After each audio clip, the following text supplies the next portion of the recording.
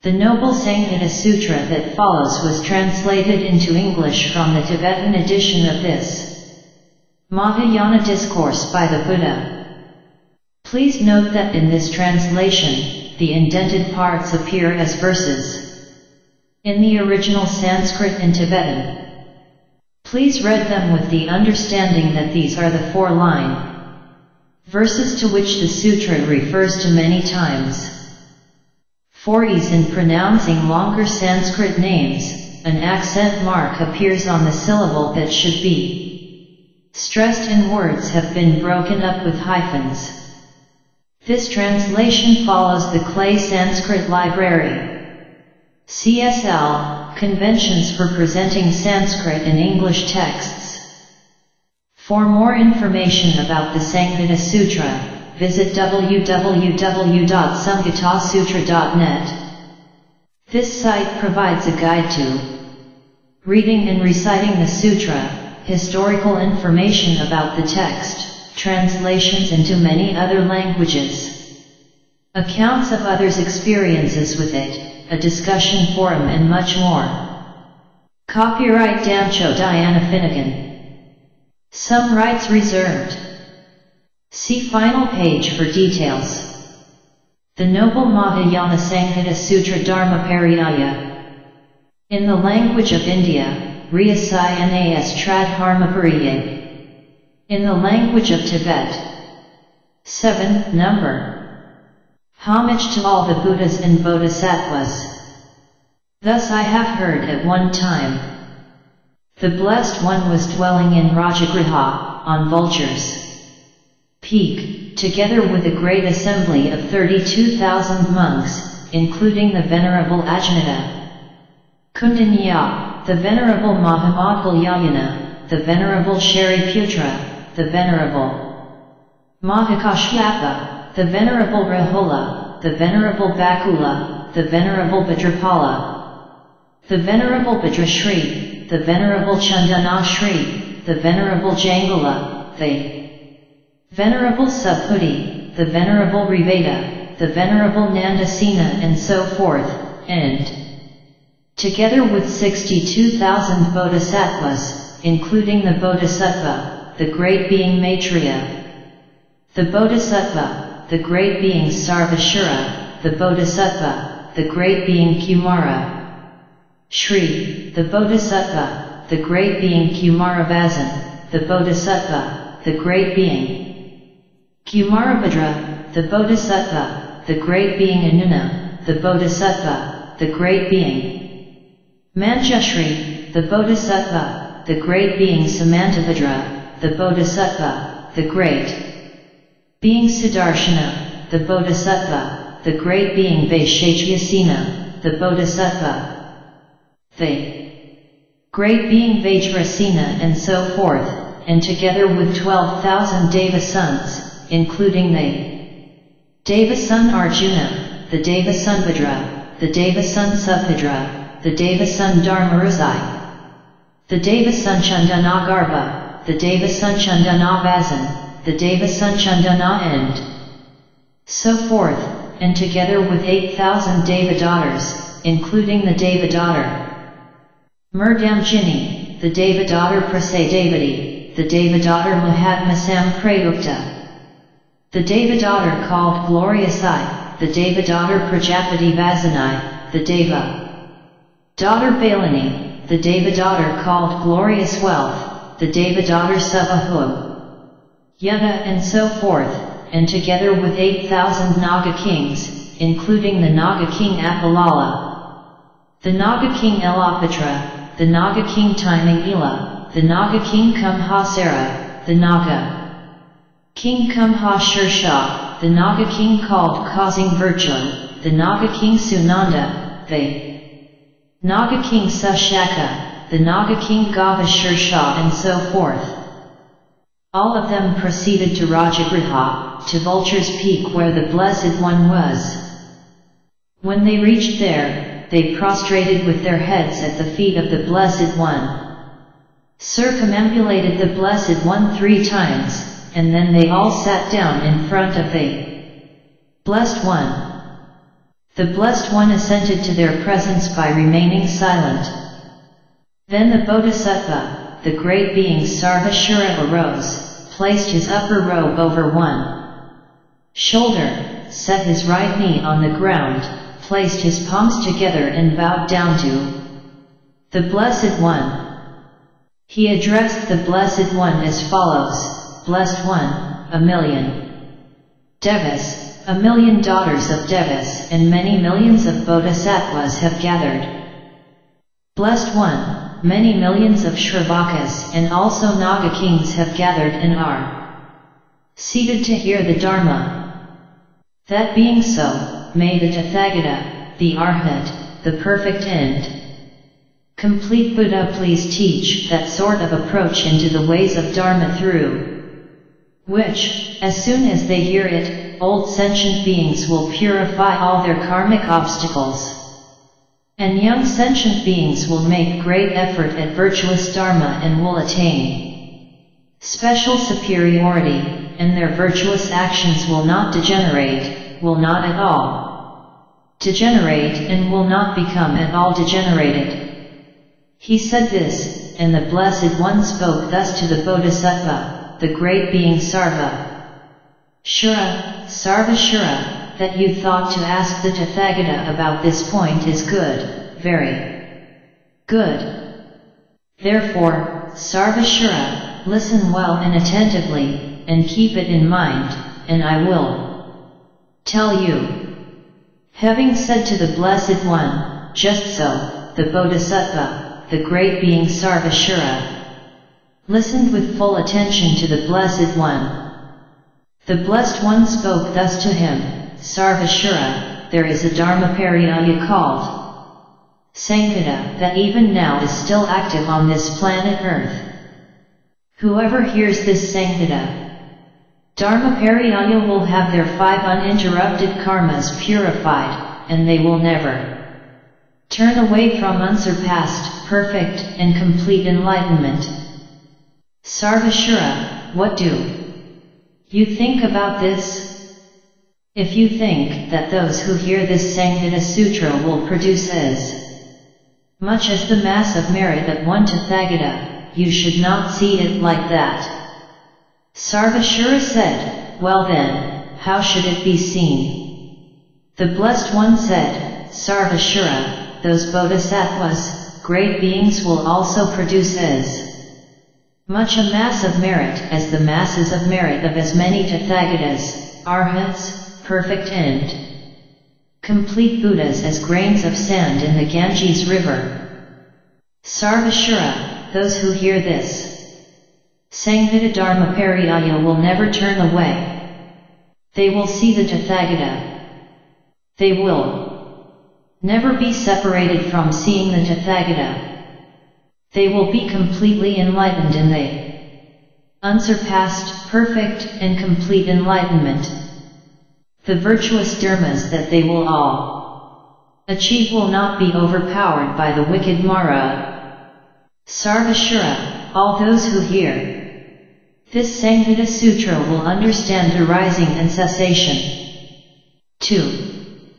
Then, at that moment, all of those bodhisattvas arose, placed their upper robe over one shoulder, set their right knee on the ground, and asked of the Blessed One, Blessed One, how much is the mass of merit of one Tathagata? The Blessed One spoke as follows, Children of the lineage, listen to the measure of the mass of merit of one Buddha. It is as follows, to make an analogy, as great as is the mass of merit of as many bodhisattvas abiding on the ten levels as there are drops of water in the great ocean, and particles of dust on the planet Earth, and grains of sand in the Ganges. River the mass of merit of one Buddha is much greater than that. As for those sentient beings who hear this Sangha Dharma Pariyaya, the mass of merit they will produce is much greater even than that. It is not possible to realize the limit of that mass of merit by counting. Sarvashura, anyone who feels great joy at the time, at the moment when they hear these words will produce an immeasurable mass of merit. Then the Bodhisattva, the great being Sarvashura said to the Blessed One, Blessed One, who are those sentient beings who thirst tremendously for the Dharma? After he said this, the Blessed One spoke as follows to the Bodhisattva, the great being. Sarvashura, Sarvashura, there are two sentient beings who thirst tremendously for the Dharma. If you wonder which those two are, Sarvashura, they are as follows, one has an equal mind toward all sentient beings, the second, Sarvashura, is anyone who after Hearing the Dharma reveals it correctly and fully to all sentient beings equally. The Bodhisattva, the great being Sarvashura said, Blessed One, who after hearing the Dharma reveals it correctly and fully to all sentient beings equally. The Blessed One said, Sarvashura, the first are those who, having heard the Dharma, wholly dedicate themselves to enlightenment, when one has wholly dedicated oneself to enlightenment, one thirsts tremendously for Dharma for the sake of sentient beings. Sarvashura, the second are those who enter into the Mahayana. They are also always tremendously thirsty for the Dharma.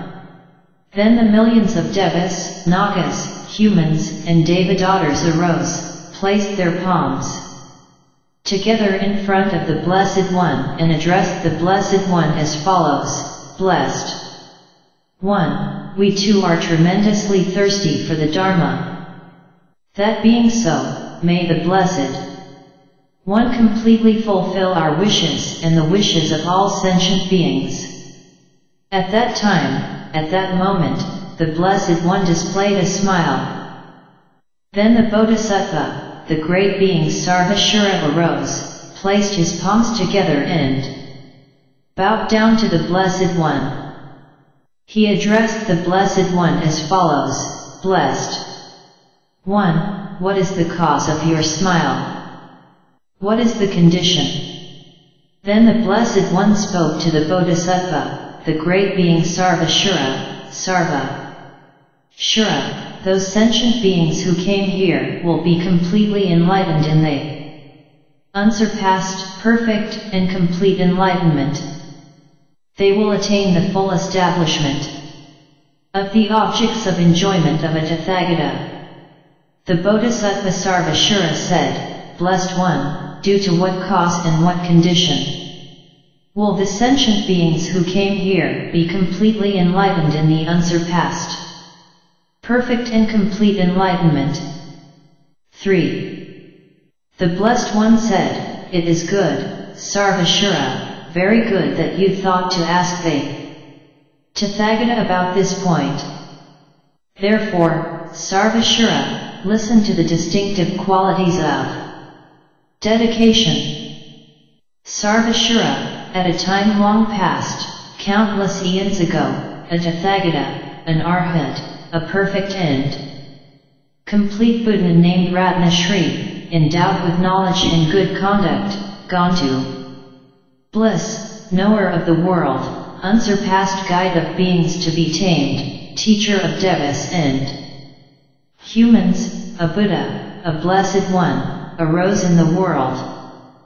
Sarvashura, at that time, at that moment, I was a Brahmin youth. All those sentient, Beings whom I was leading to the gnosis of a Buddha at that time, at that moment, had become wild animals, and so at that time, at that moment, I made this prayer, may all they wild animals who are now completely tormented by suffering be reborn in my Buddha field. May I establish them all in the gnosis of a Buddha, and all those wild animals, Having heard those words, said, May it be so. Sarvashura, by this root of virtues, sentient beings have come here and will be completely enlightened in the unsurpassed, perfect and complete enlightenment. Thereupon, after hearing this greatly joyful thing from the Buddha, the Bodhisattva, the great being Sarvashura said to the Blessed One, Blessed One, what lifespan is possible for those sentient beings? The Blessed One said, a lifespan of 80 eons is possible for those sentient beings. The Bodhisattva Sarvashura said, Blessed One, how much is the measure of an eon? The Blessed One said, Child of the lineage, listen. It is as follows, to make an analogy. A man built an enclosure 12 yojanas in circumference and 3 yojanas in height, and completely filled that enclosure with nothing but sesame seeds. Then, whenever 1000 years had passed, that man cast a single sesame seed out from that enclosure that was completely filled with sesame seeds. In such a manner, even when that man comes to the end of all those sesame seeds, and even the foundation and base of that enclosure no longer exist, still an eon would not have come to an end. Moreover, Sarvashura, it is as follows, to make an analogy, there is a mountain 50 yojanas in depth and some 12 yojanas in height. Then a man built a house on the side of that mountain, and for a long time, when 100 years passed, that man would Wipe it once with a cloth of Benares muslin. By his doing so, the mountain would come to an end. But even after it had, still an eon would not have come to an end. Sarvashura. That is the measure of an eon. Then the Bodhisattva, the great being Sarvashura arose and addressed the Blessed One. Blessed One, if even one dedication produces a large mass of merit such that the lifespan of a happy life can become 80 eons, what need could there be to mention? Someone who offers an extremely great amount of reverential service to the teachings of the Tathagata. The Blessed One said, Listen, child of the lineage, if anyone who hears the Sanghata Dharmapariyaya is able to have a lifespan of 84,000 eons, what need is there to mention? One who has the Sanghata Sutra written out and who reads it? Sarvashura, that one will produce an extremely large mass of merit. 4. Sarvashura, anyone who has a mind inspired with pure faith and makes heartfelt Prostrations to the Sanghata Sutra will remember their past lives for 95 eons. They will become a wheel-turning king for 60 eons. Even in that lifetime, everyone will like them. Sarvashura, their death will not be brought about by weapons. Their death will not be brought about by poison. They will not be harmed by black magic. Even at their time of death, they will see 99 million Buddhas directly, and, Sarva. Shura, those Buddhas, those blessed ones, will say to that person, holy being, because you have heard the great Sanghata Sutra Dharmapariyaya explained well, therefore this mass of merit was created.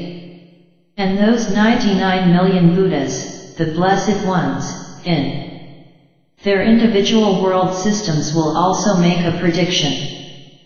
If this is so, Sarvashura, what need is there to mention anyone who hears all of this? Great Sanghata Sutra Dharmapariyaya, completely and extensively? Not only that, they will reassure that person, saying do not fear. At that, the Bodhisattva, the great being Sarvashura said to the Blessed One, Blessed One, when I too listen to the great Sanghata Sutra Dharmapariyaya, what mass of merit will I produce, Blessed One?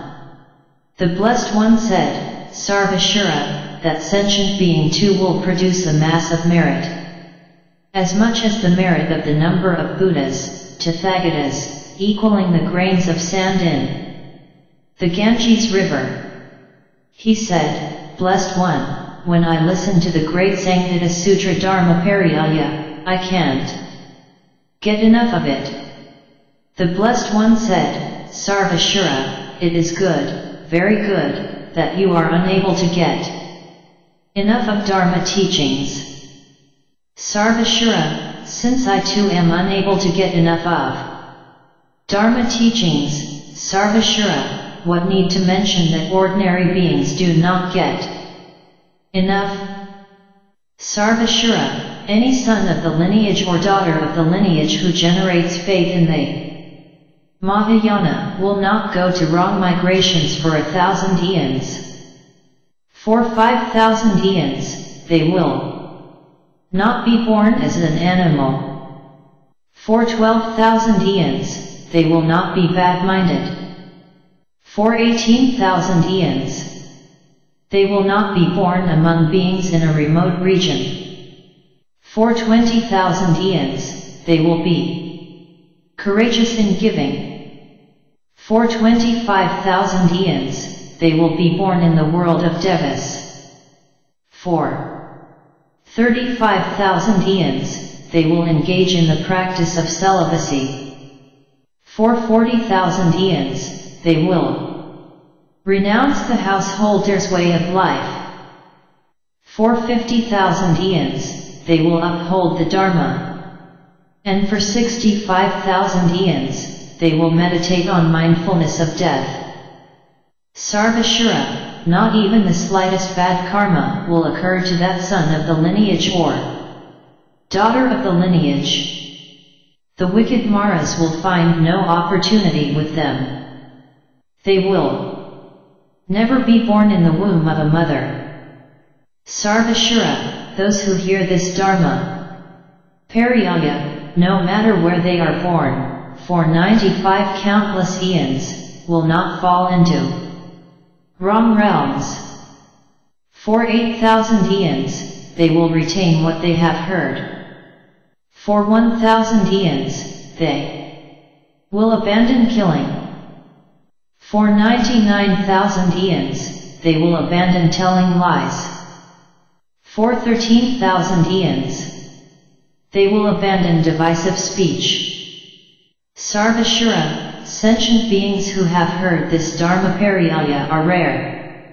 Then the Bodhisattva, the great being Sarvashura arose, placed his upper robe over one shoulder, set his right knee on the ground, placed his palms together and bowed down to 5. The Blessed One. He said to the Blessed One, Blessed One, how large a mass of fat, Karma will those who reject this Dharma Pariyaya produce. The Blessed One said, Sarvashura, it is much. He said, Blessed One, how large a mass of bad karma will those sentient beings produce? The Blessed One said, Be quiet, Sarvashura, be quiet. Do not ask me about the masses of bad karma, Sarvashura, compared to generating ill will toward as many Tathagatas, Arhats, perfect and complete Buddhas as there are grains of sand in twelve Ganges rivers. Those who disparage the Sanghata Sutra will produce a far greater mass of non-virtue. Sarvashura, those who generate ill will toward the Mahayana will also produce a far greater mass of non-virtue than that. Sarvashura, those sentient beings are burned. They are just burned. Sarvashura asked, Blessed One, is it not possible to liberate these sentient beings? The Blessed One said, That is so, Sarvashura. It is impossible to liberate them. Sarvashura, it is as follows, to make an analogy, if someone were to cut off a man's Head, if that person were to apply as a poultice to his head either honey or sugar or molasses or butter or vegetable oil, or any medicinal poultice, what do you think about? This, Sarvashura? Would this person be able to rise up again? Sarvashura said, Blessed One, this cannot be. The Blessed One said, Moreover, Sarvashura, there would also be another man. When he struck another sentient being with a sharp weapon, although he was unable to kill him. By striking one blow, Sarvashura, a wound would occur. If medicine were applied, his wound would heal. At the time when he has revived, recalling the suffering, that man would think, now I understand, and therefore at no time will I create wicked, non-virtuous karma. Just like the one who reflects in this way, Sarvashura, when that man recalls suffering, he completely abandons wickedness. At that time all the Dharma becomes manifest. When all the Dharma has become manifest, at that time he will bring to completion all the virtuous Dharma teachings. Sarvashura, it is as follows, to make an analogy, just as the parents of a man who died grieve and lament, but nevertheless have no ability to protect him, in the same way. Sarvashura, childish ordinary individuals are also unable to help themselves or others. Like those parents, whose hopes were dashed, these sentient beings too will have their hopes dashed at the time of death. Sarvashura, there are two sentient beings whose hopes have been dashed. Who are they? 2. They are as follows, one is a sentient being who does wicked actions or has them done. The other is one who abandons the holy Dharma. Both these sentient beings have their hopes dashed at their time of death. The Bodhisattva Sarvashura said, Blessed One, what is the migration path of these sentient beings? What is their life afterwards?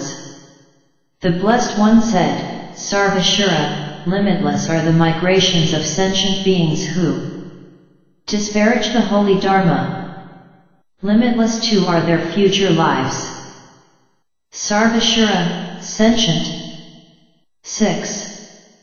Beings who abandon the holy Dharma will experience feelings for an eon in the sentient being's great hell of lamentation, for an eon in the crushing hell, an eon in the hot hell, an eon in the extremely hot hell, an eon in the great hell of black lines, an eon in the great hell of Avasai, an eon in the great hell called hair rising, an eon in the great hell of calling out alas, and Sarvashura, they will have to experience the sufferings of these eight great hells for eight eons.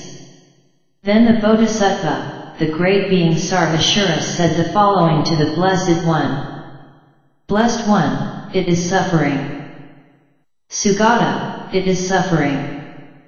Hearing of it is not joyful. Then the Blessed One at that time uttered these verses. How beings in the being's hell experience such sufferings. Greatly fearsome words like these. You find no joy in hearing. For those who do virtuous actions, goodness is what comes to pass. For those who do non-virtuous actions, that becomes suffering indeed. Those who do not know happiness cause, once they are born, will be tormented by death, and by the pain of their bondage to grief. These childish ones will always suffer. Those who recall the Buddha as supreme. These skillful ones indeed are happy. Those who have faith in the Mahayana too will not go to bad migrations. Sarvashura, in just this way. Propelled by previous karma. Those who have done merely a small deed will experience endless results. In the Buddha field, the supreme field, if one plants a seed, great will be the fruit. Just as many fruits are enjoyed from planting but a few seeds. So those who delight in the conqueror's teachings, these skillful ones indeed are happy. They abandon wicked deeds and create much virtue, too. Anyone who gives to my teachings an offering of even just a mere hair will for 80,000 eons have great possessions and much wealth, too. 7. Wherever it is that they are born, they will always be generous. Thus, greatly fruitful is the Buddha. A profound place for giving. Then the Bodhisattva, the great being Sarvashura said to the Blessed One, Blessed One, how should one seek out the Dharma taught by the Blessed One? Blessed One, how will one take firm hold of the roots of virtue after hearing the Sanghata Sutra Dharma? Pariyaya the Blessed One said, Sarvashura, one should know that the mass of merit of one who listens to this Sanghata Sutra Dharma Pariyaya is just like offering reverential service to as many Tathagatas, Arhats, perfect and complete Buddhas as there are grains of sand in twelve Ganges rivers, providing them with everything required for their happiness. The Bodhisattva Sarvashura said, Blessed One, how are the roots of virtue to be brought to completion? He asked this, and the Blessed One said to the Bodhisattva, the great being Sarvashura, These roots of virtue are to be understood to be equal to a Tathagata.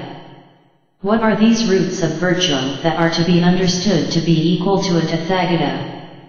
The Blessed One said, an orator of the Dharma is to be understood to be equal to a Tathagata. Sarvashura said, Blessed One. Who is an orator of the Dharma? Anyone who reads out the Sanghata Sutra is an orator of the Dharma. Sarvashura said, Blessed One, since even those who hear the Sanghata Sutra Dharma, Pariyaya will produce such a mass of merit, what need is there to mention those who write it out and read it? How much a mass of merit will they produce? The Blessed One said, Sarvashura, listen.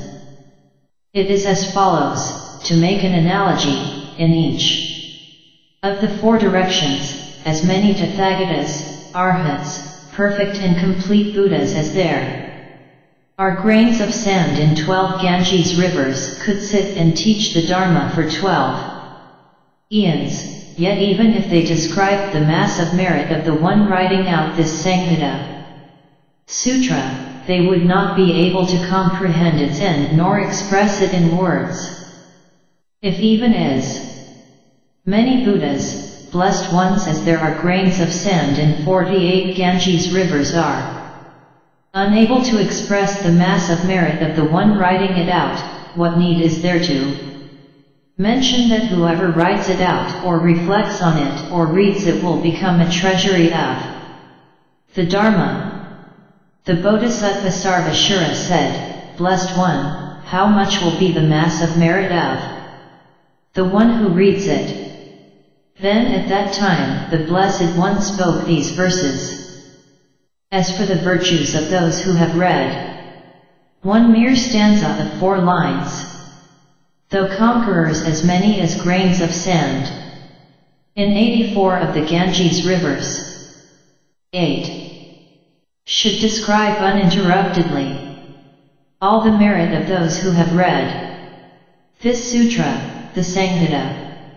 Still that merit would not run out. The Dharma taught by enlightened ones is hard to find, and limitless.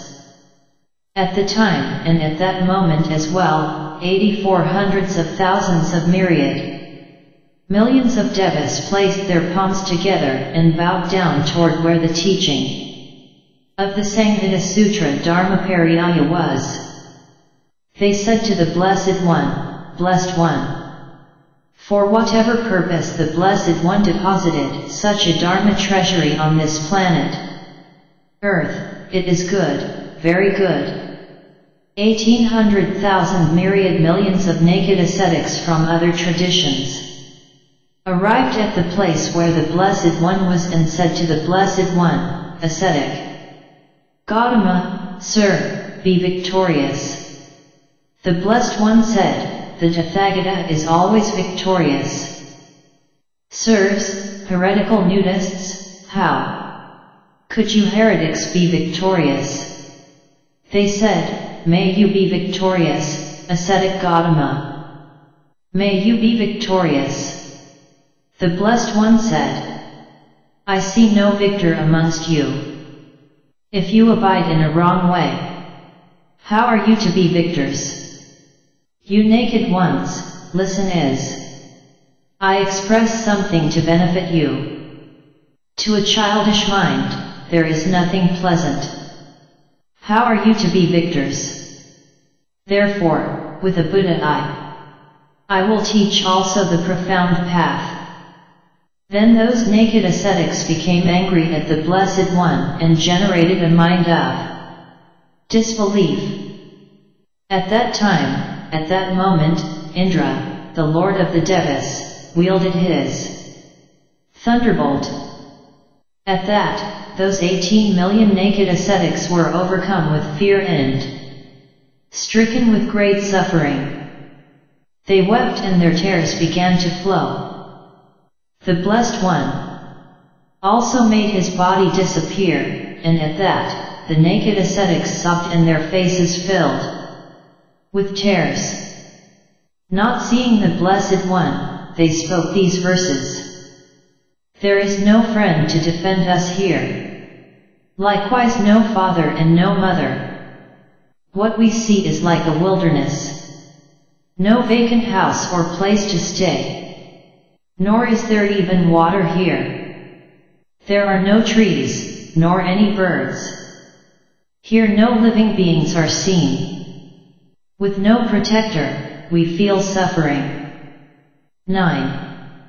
Since we do not see the Tathagata, what we experience is greatly unbearable. Then, at that time too, the 18 million naked ascetics arose and knelt with both feet on the ground. They raised their voices and sang out. Tathagata, endowed with compassion. Complete Buddha, supreme among humans. Please do what will benefit us. Be the refuge for beings in despair. Then the Blessed One displayed a smile and said to the Bodhisattva Sarva Shura, Sarva Shura, go and explain the Dharma to the heretical naked ascetics from other traditions. He spoke thus, and the Bodhisattva, the great being Sarva Shura said to the Blessed One, Blessed One, if the Black Mountain demolishes its boulders prostrating with its peak to Mount Sumeru, the king of mountains, how am I to teach the Dharma while they Tathagata is present? The Blessed One said, Be quiet, child of the lineage. The skillful means of the Buddhas are many, Soko, Sarvashura. Look among the world systems in the ten directions and see where Tathagatas are appearing and where there are seats set up. Sarvashura, I myself, will teach the Dharma to the heretical naked ascetics from other traditions.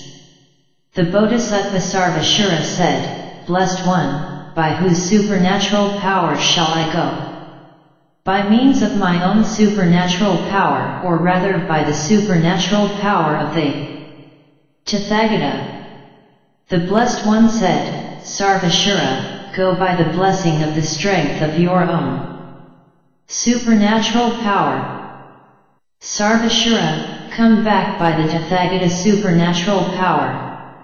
Then the Bodhisattva Sarvashura arose, circumambulated the Blessed One and disappeared on that very spot.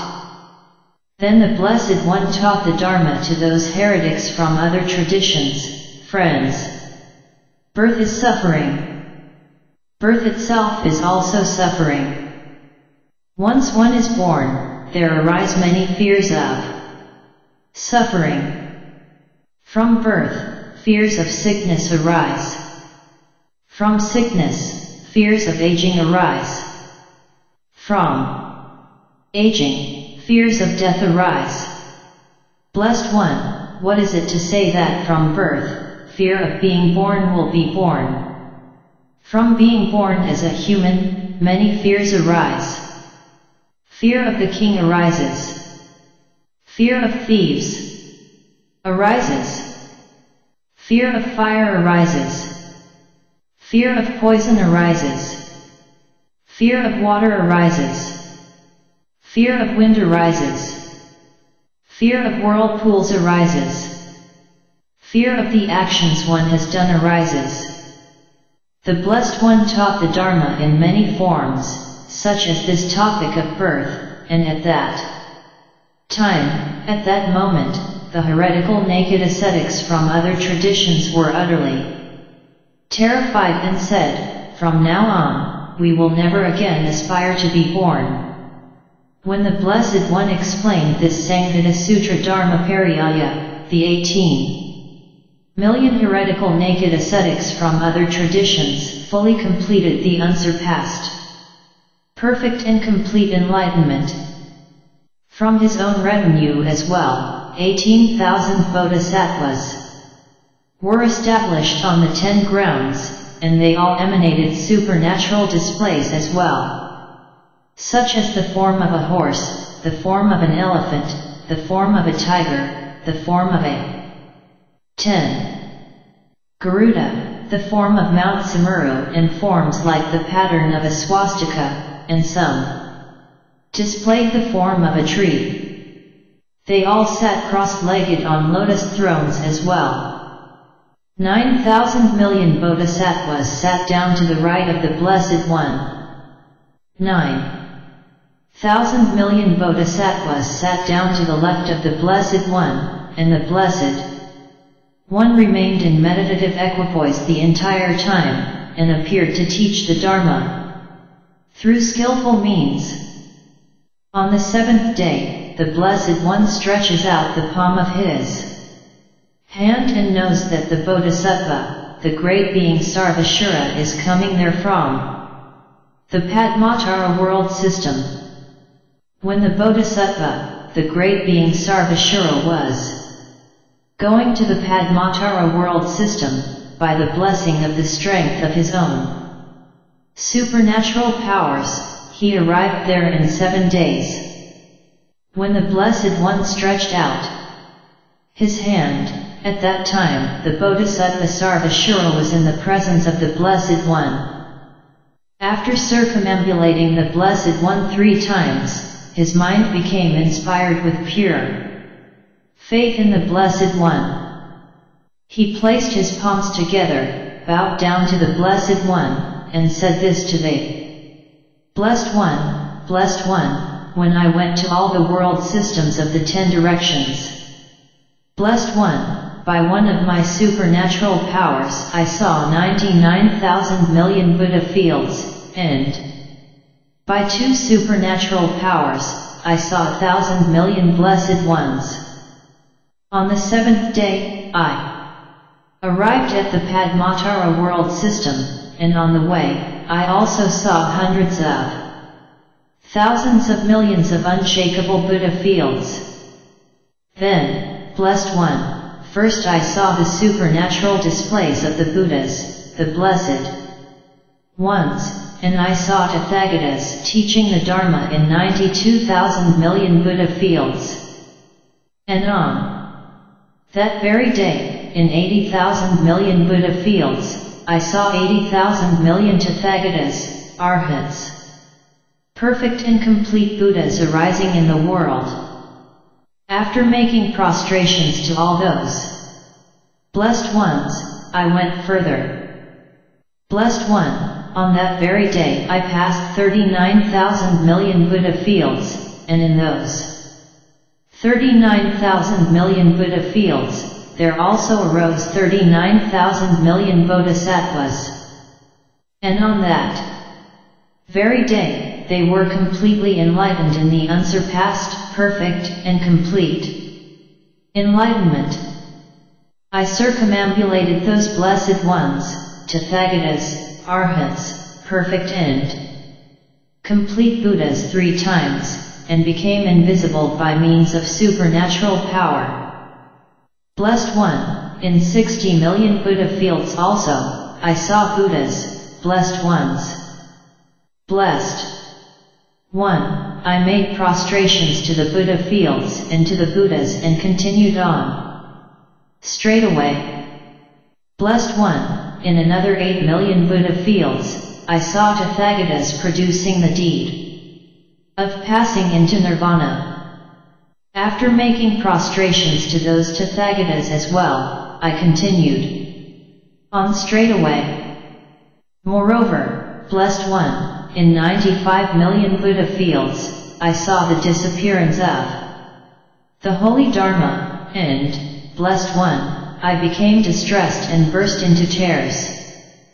Moreover, I saw Devas, Nagas, yakshas, rakshasas and many embodied beings of the desire realm. Weeping, pierced with great agonizing pains. Moreover, similarly, blessed one, after making prostrations to these Buddha fields together with their oceans, with their mount, Samaras and with their land, that were all without exception burned, I fell into despair and left 11. Blessed One, up until I came to the Padmatara world system, Blessed One, I saw 500,000 million thrones set up, 2.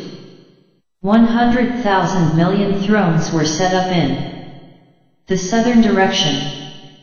I saw 100,000 million thrones set up in the northern direction. 100,000 million thrones set up in the eastern direction, 100,000 million thrones set up in the western direction, and 100,000 million thrones set up in the upper direction. Also, blessed one, those thrones that had been set up are made solely from the seven precious substances, and on all these thrones, two Tathagatas are seated and teach the Dharma.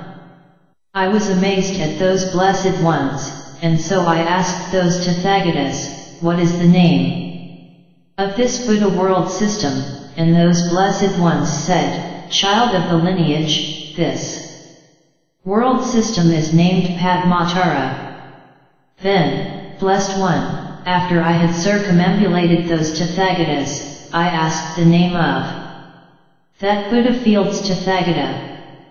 They said, the one called Tathagata, Arhat, perfect and complete Buddha Padma. Garbha performs the activities of a Buddha in this Buddha field. Then I asked this of them, since there are many hundreds of thousands of millions of Buddhas, and since I do not know the Tathagata, Arhat, perfect and complete Buddha. Padmagarbha, which is that one? That Tathagata said, child of the lineage, I will show you the one called Tathagata. Arhat, perfect and complete Buddha Padmagarbha. Then the bodies of all those Tathagatas disappeared and they appeared only in the forms of Bodhisattvas. A lone Tathagata was apparent, and I made prostrations with my head at the feet of that Tathagata. As soon as I went there, a throne appeared, and I went to that throne. And, blessed one, at that time many thrones appeared, but not seeing anyone on those thrones, I said to that Tathagata, blessed one, I do not see any sentient beings at all on these thrones. And the Tathagata said, sentient beings who have not produced they root of virtue do not have the power to sit on those thrones. I said, Blessed One, after sowing what kind of root of virtue does one come to be on? Those thrones. That blessed one said, Listen, child of the lineage. Sentient beings who have heard the Sanghata Sutra Dharma Pariyaya by that root of virtue will sit on these thrones, and there is no need to mention those who have written it out or read it. Sarvashura, you have heard the Sanghata Sutra Dharma Pariyaya and therefore you are sitting on this seat. Otherwise, how would you have entered into this Buddha field?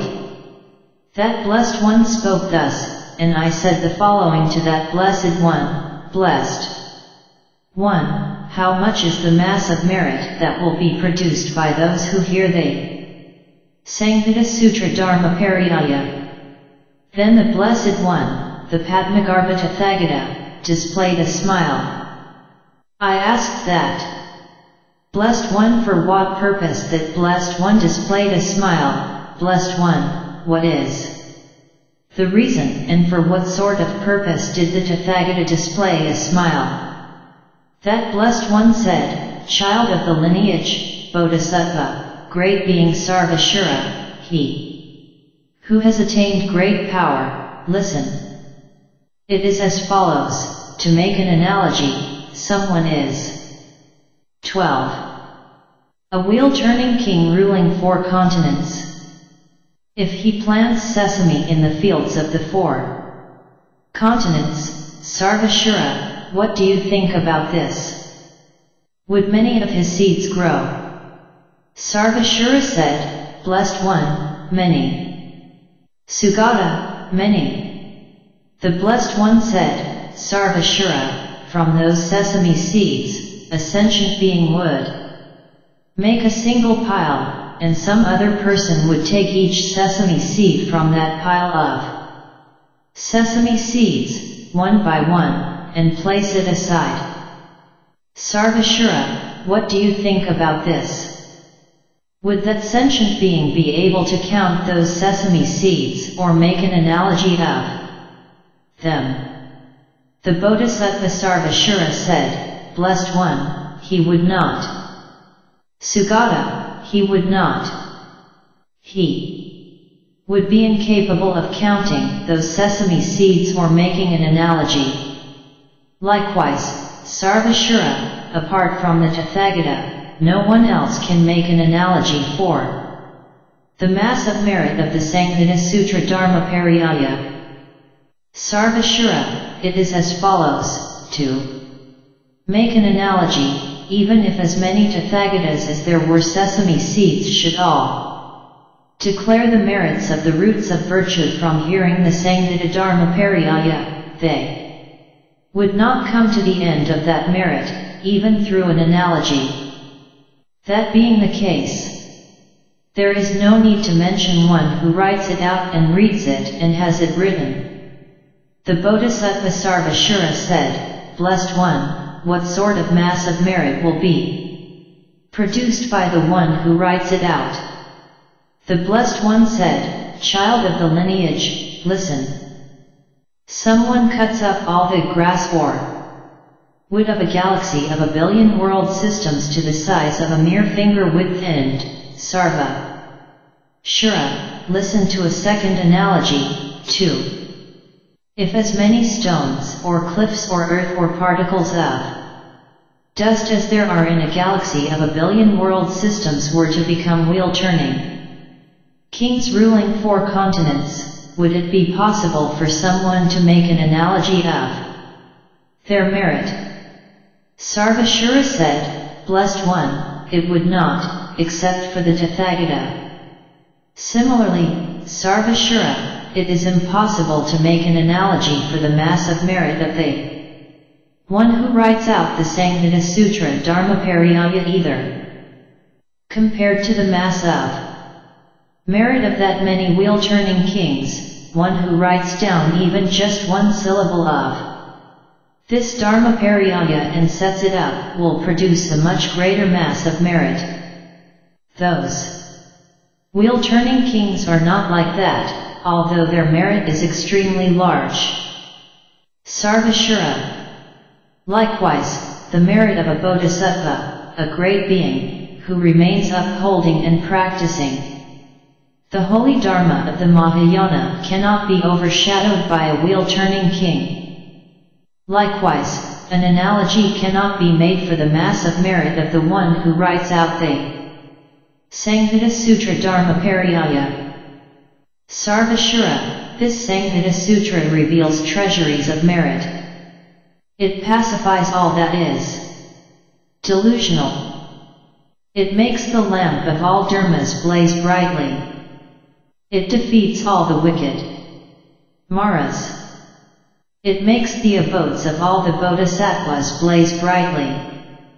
It brings about the complete accomplishment of all dharmas. He spoke thus, and the Bodhisattva, the great being Sarvashura said to the Blessed One, Blessed One, here the practice of celibacy is a very difficult practice. If one wonders what the reason for this is, Blessed One, a Tathagata's practice is rare, and likewise the practice of celibacy is also rare. At the time when one engages in the practice of celibacy, 13. One will see the Tathagata directly. Day and night, one will see the Tathagata. At the time, one sees the Tathagata directly and looks at the Tathagata day and night, one sees the Buddha field. When one sees the Buddha field, one sees all the treasures. When it is one's time to die, terror will not be born. One will not be born in a mother's womb at all. One will not become sorrowful at all. One will not be bound by the noose of craving. He said this, and the Blessed One spoke thus to the Bodhisattva, the great being Sarva. Shura, Sarva Shura, the arising of Tathagatas is rare. He said, Blessed One, it is rare. Sugata, it is difficult to find. The Blessed One said, Sarvashura, likewise this Sanghata Sutra Dharmapariyaya is also difficult to find. Sarvashura, anyone whose ear this Sanghata Dharmapariyaya falls upon, will recollect past lives for 80 eons. For 60,000 eons, they will attain wheel turning. Kingship, for 8,000 eons, they will attain the position of Indra. For 20,000 eons, they will be born equal in fortune to the devas of the pure abodes. For 38,000 eons, they will become the great Brahma. For 99,000 eons, they will not fall down into wrong realms. For 100,000 eons, they will not be born among Pretas. For 28,000 eons, they will not be born among animals. For 13,000 eons, they will not be born in the form of an Asura. There. Death will not be brought about by weapons. For 25,000 eons, their wisdom will not be distorted. For 7,000 eons, they will exercise wisdom. For 9,000 eons, they will be handsome and lovely. They will be just like the form bodies accomplished by the Tathagata. For 15,000 eons, they will not be born as a wife.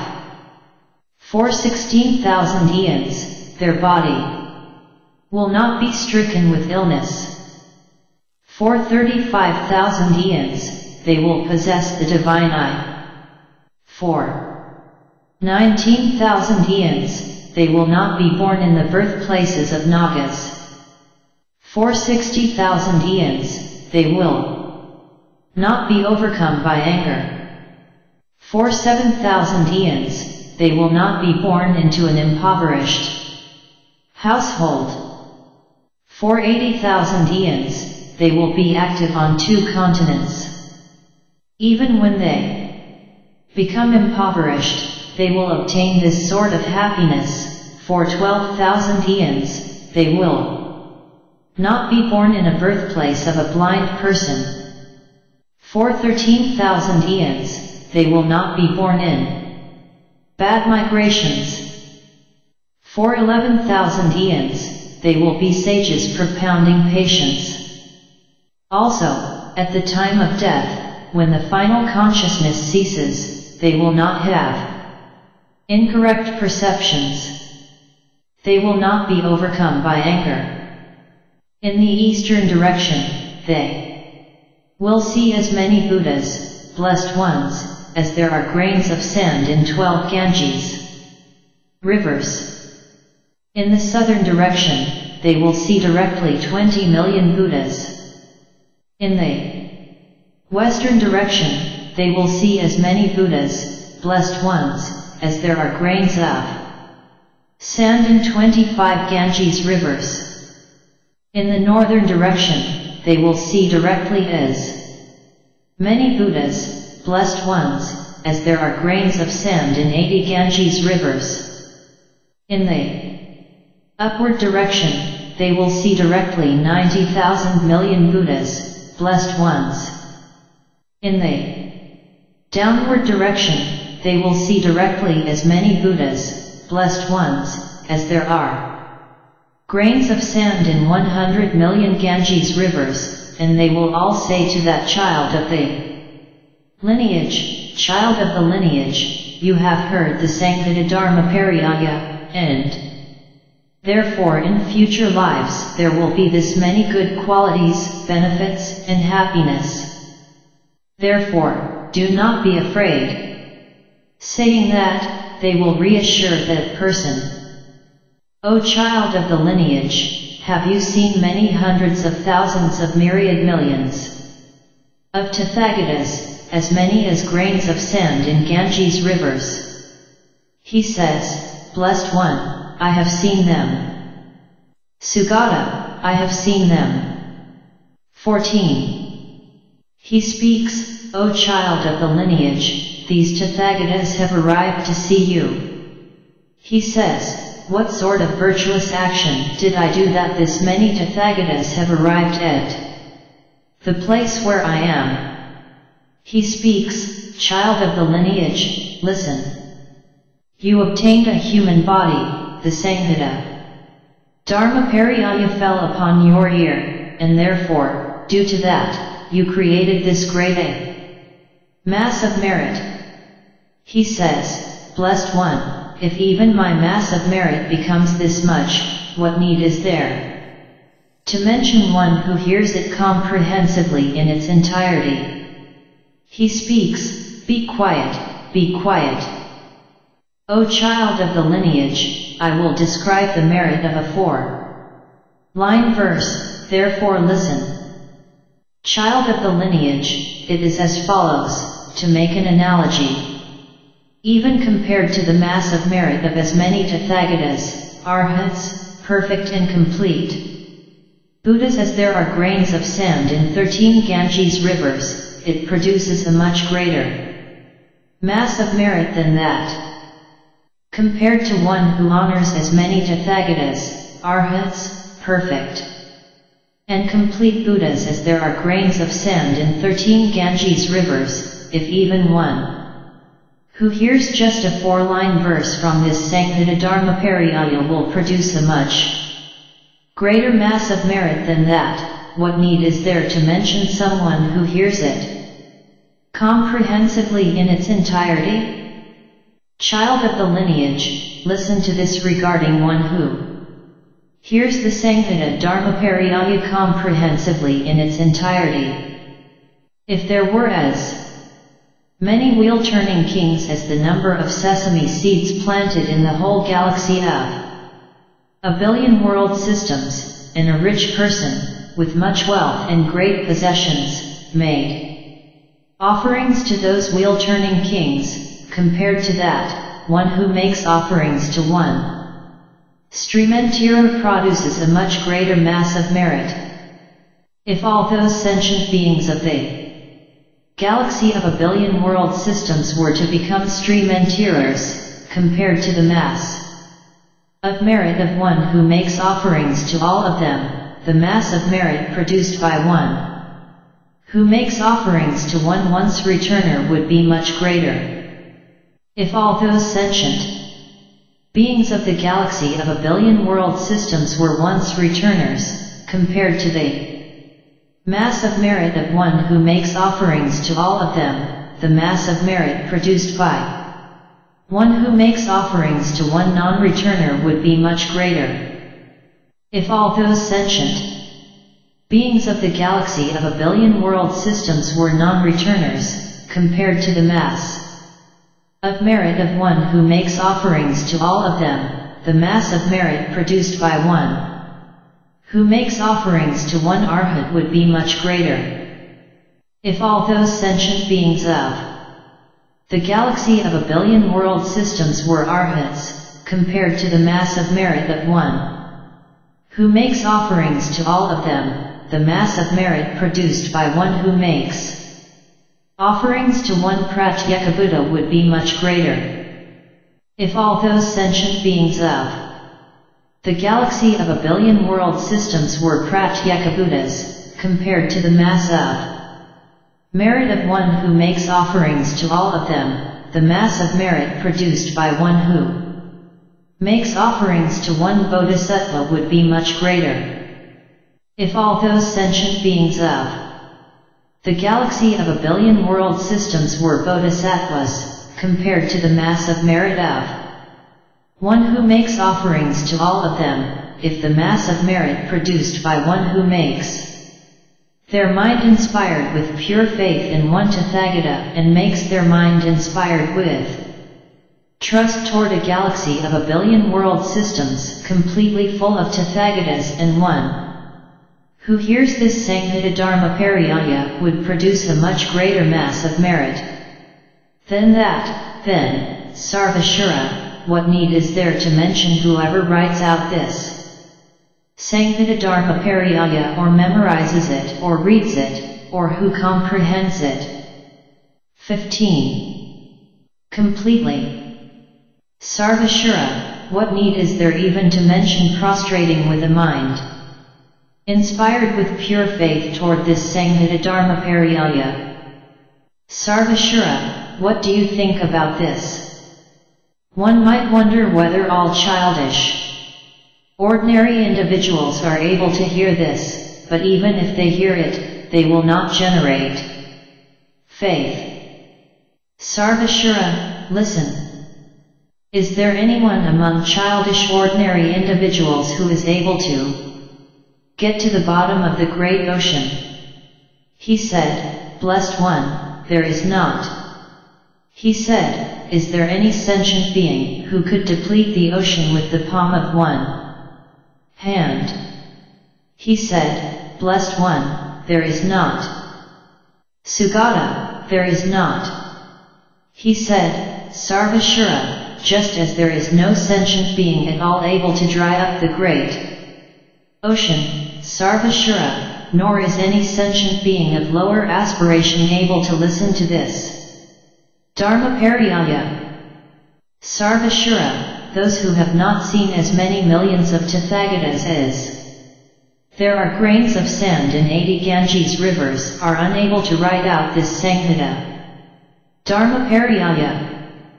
Those who have not seen as many Tathagatas as there are grains of sand in 90 Ganges rivers are unable to listen to this Dharma Pariyaya.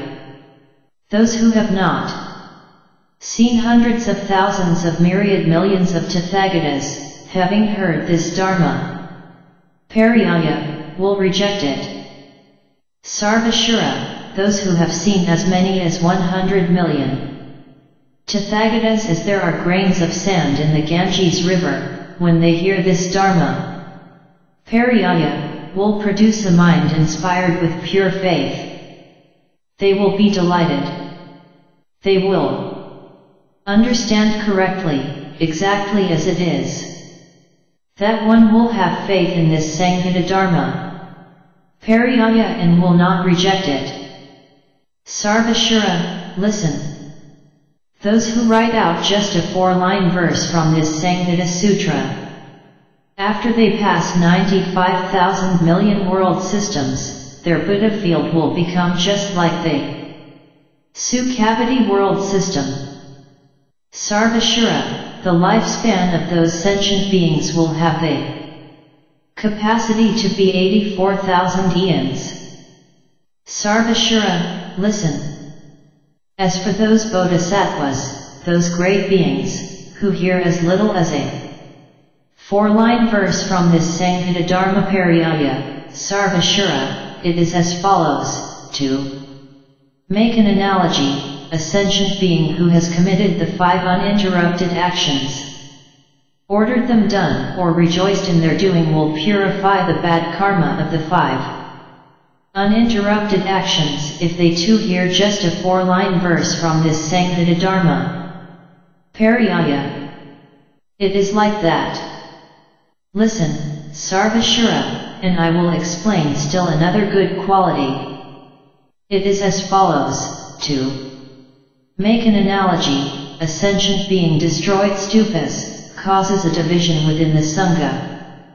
Causes a bodhisattva to waver from their meditative absorption, creates an obstruction to the wisdom of a Buddha and takes human life. Afterwards, that sentient being regrets it and is distressed. By this body, I have been ruined, and ruined in the next life, too. I am worthless. Thinking thus, there arises intense contemplation and he experiences painful feelings. He experiences unbearable feelings. Sarvashura, that sentient being is rejected by all sentient beings. He is despised. This sentient being is burnt and worthless. He has become worthless with regard to worldly and supramundane phenomena as well. 4. many eons, this man will be like a log burnt to cinder. This man will be just like pillars. 16. And beams in a nicely painted house that are not beautiful once they are burned. He is not lovely in this world, either.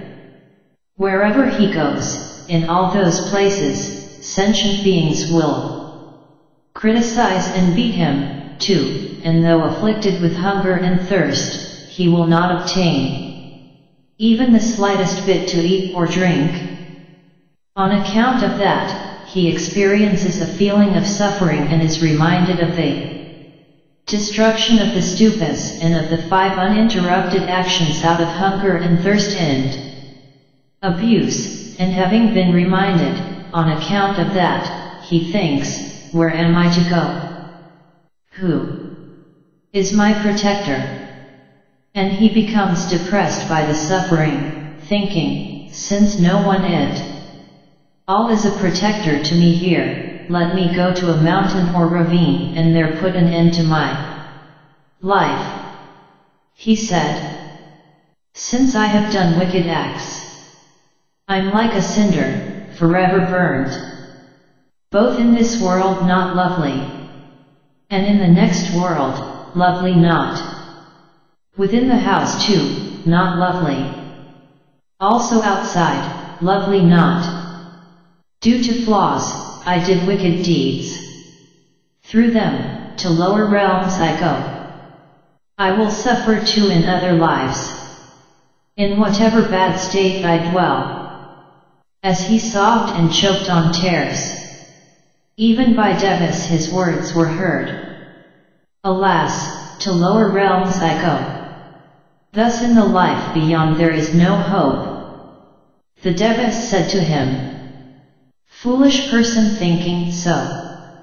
Drop this suffering mind and go.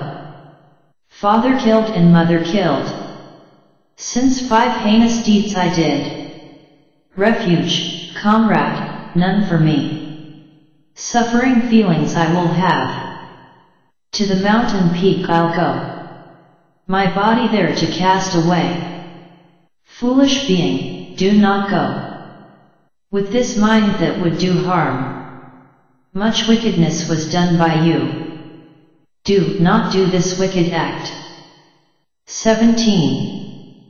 Who does harm unto themselves? To the suffering hells will go. They will grieve and cry aloud. And due to that, fall to the ground. Not by that effort do Buddhas come to be. Nor do Bodhisattvas come about. Even a hearer's vehicle is not attained. So by another effort, strive. Go to that mountain where a sage is. Having gone and seen the magnanimous sage. At his feet, he paid homage with his head.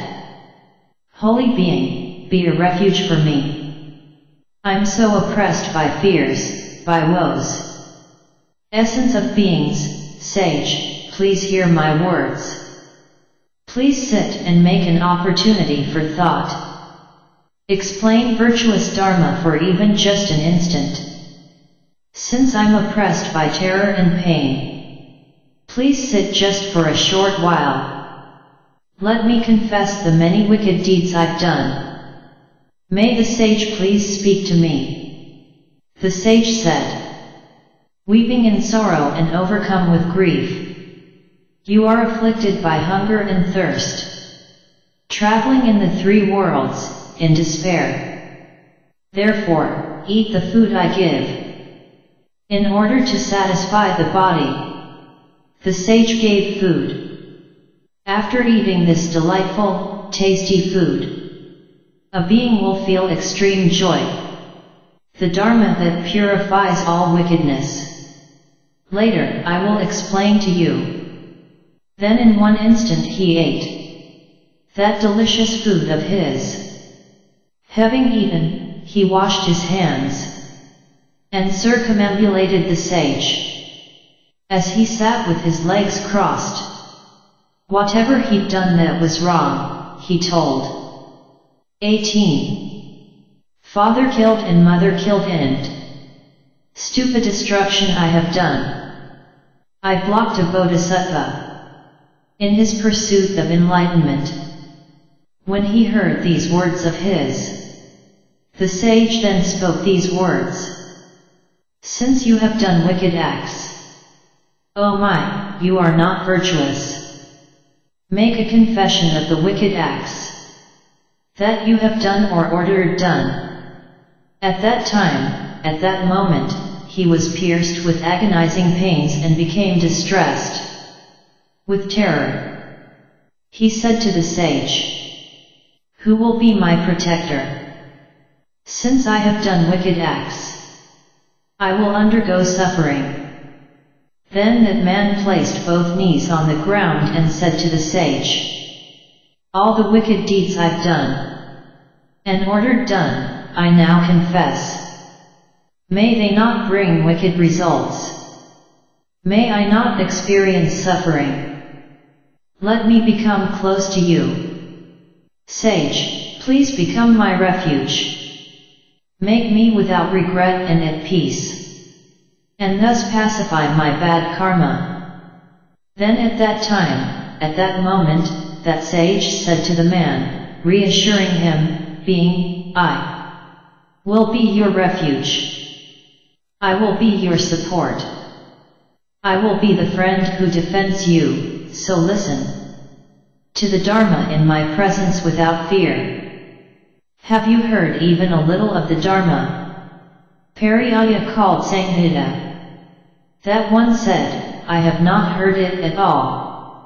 The sage said, who will teach the Dharma to a burnt sentient being, except for one who abides in compassion and, due to that, teaches the Dharma to sentient beings. He said, child of the lineage, listen further.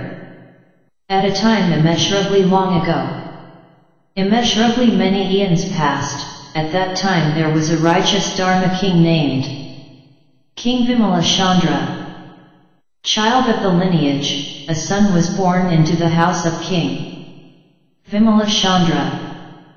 Thereupon, the great king Vimalaschandra assembled the augural Brahmins and said to them, Brahmins, what sort of sign do you see for the youth?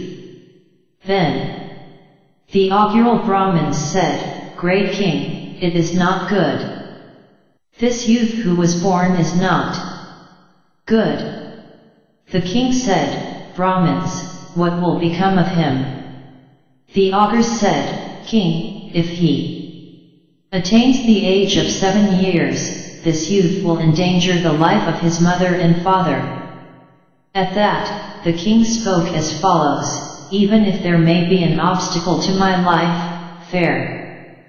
19. Enough, but I will not kill this son of mine. It is very rare to attain birth as a human in this world, therefore, I will not commit such harm to the body of any human. After that, the youth grew rapidly. Specifically, when he reached the age of one month, he had grown the amount that others grow in two years. After that, the king Vimala, Chandra knew too that the youth had grown because of karma that the king himself had accumulated. Then the king gave his kingdom to that youth and spoke as follows, May you become a king well renowned and with a vast dominion. Rule righteously with dharma, not by what is not dharma. Then, having granted him the kingdom, he bestowed on him the title king and king. Vimala Chandra acts no more as king of his own land.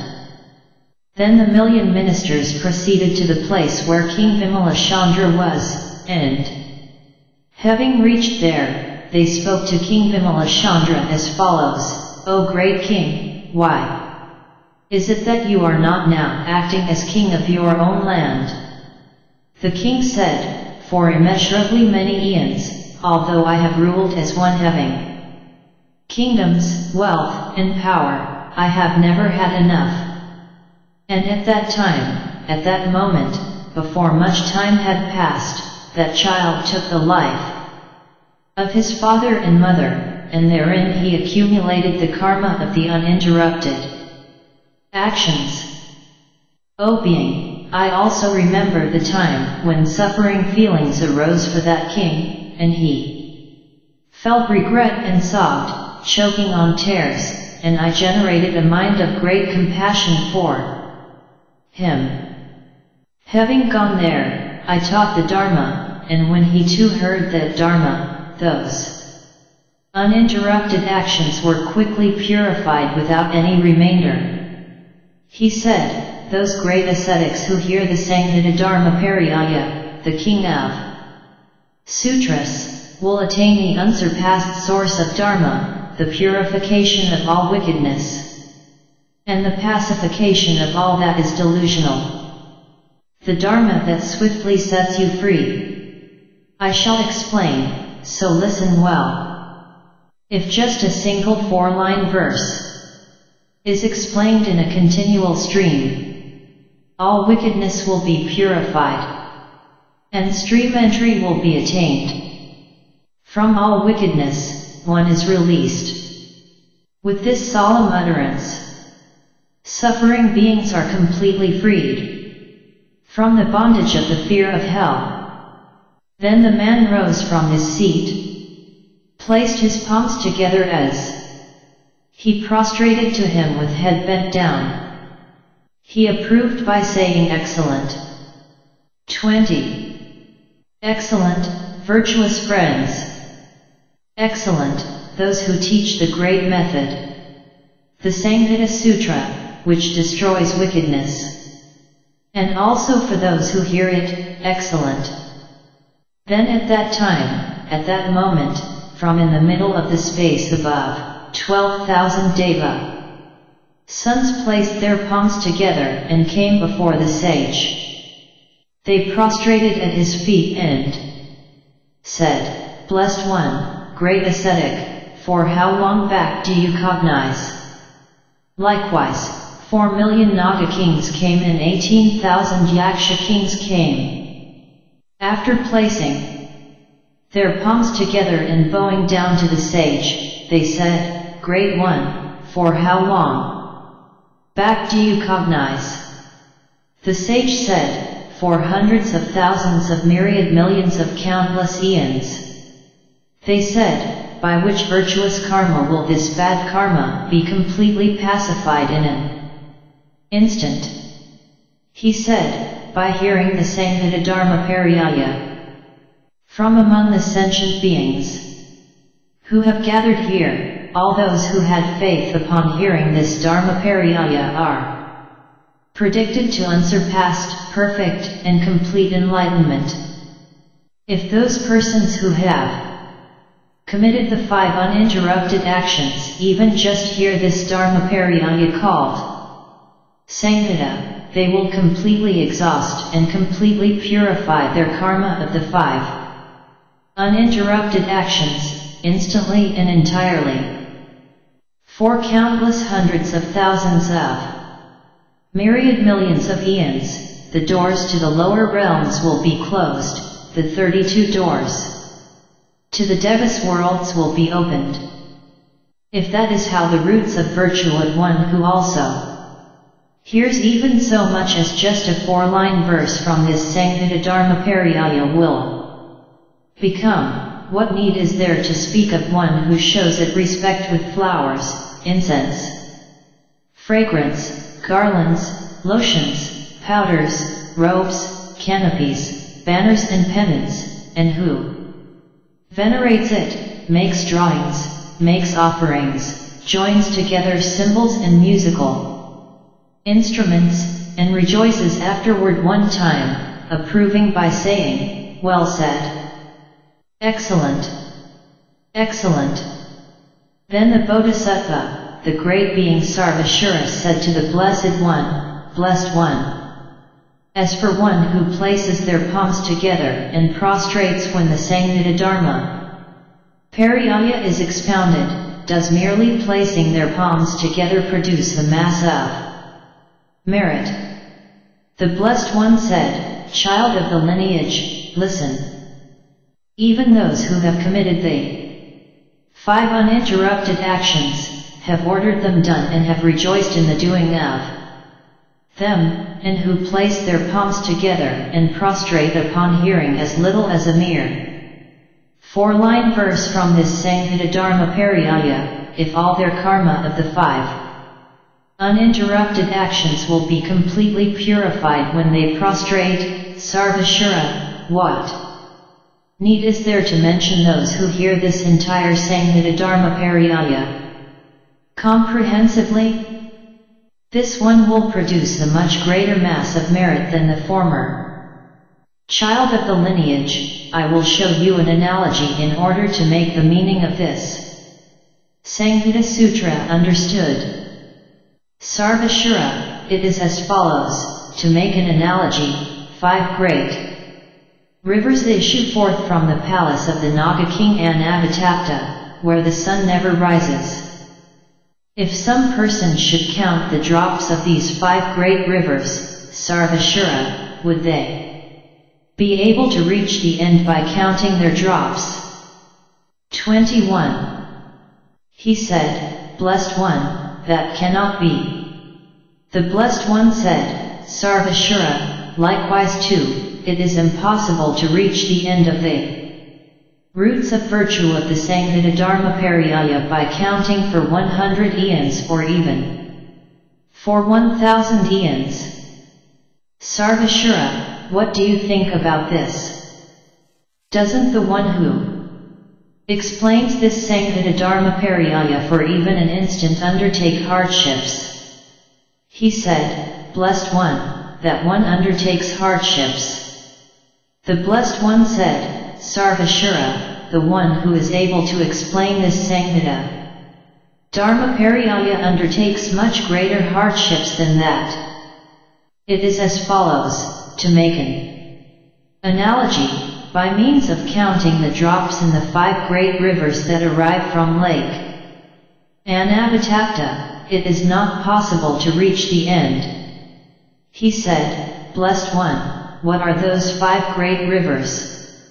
The Blessed One said, they are as follows, Ganges, Siddha, Vakshu, Yamuna and Chandrabhaga.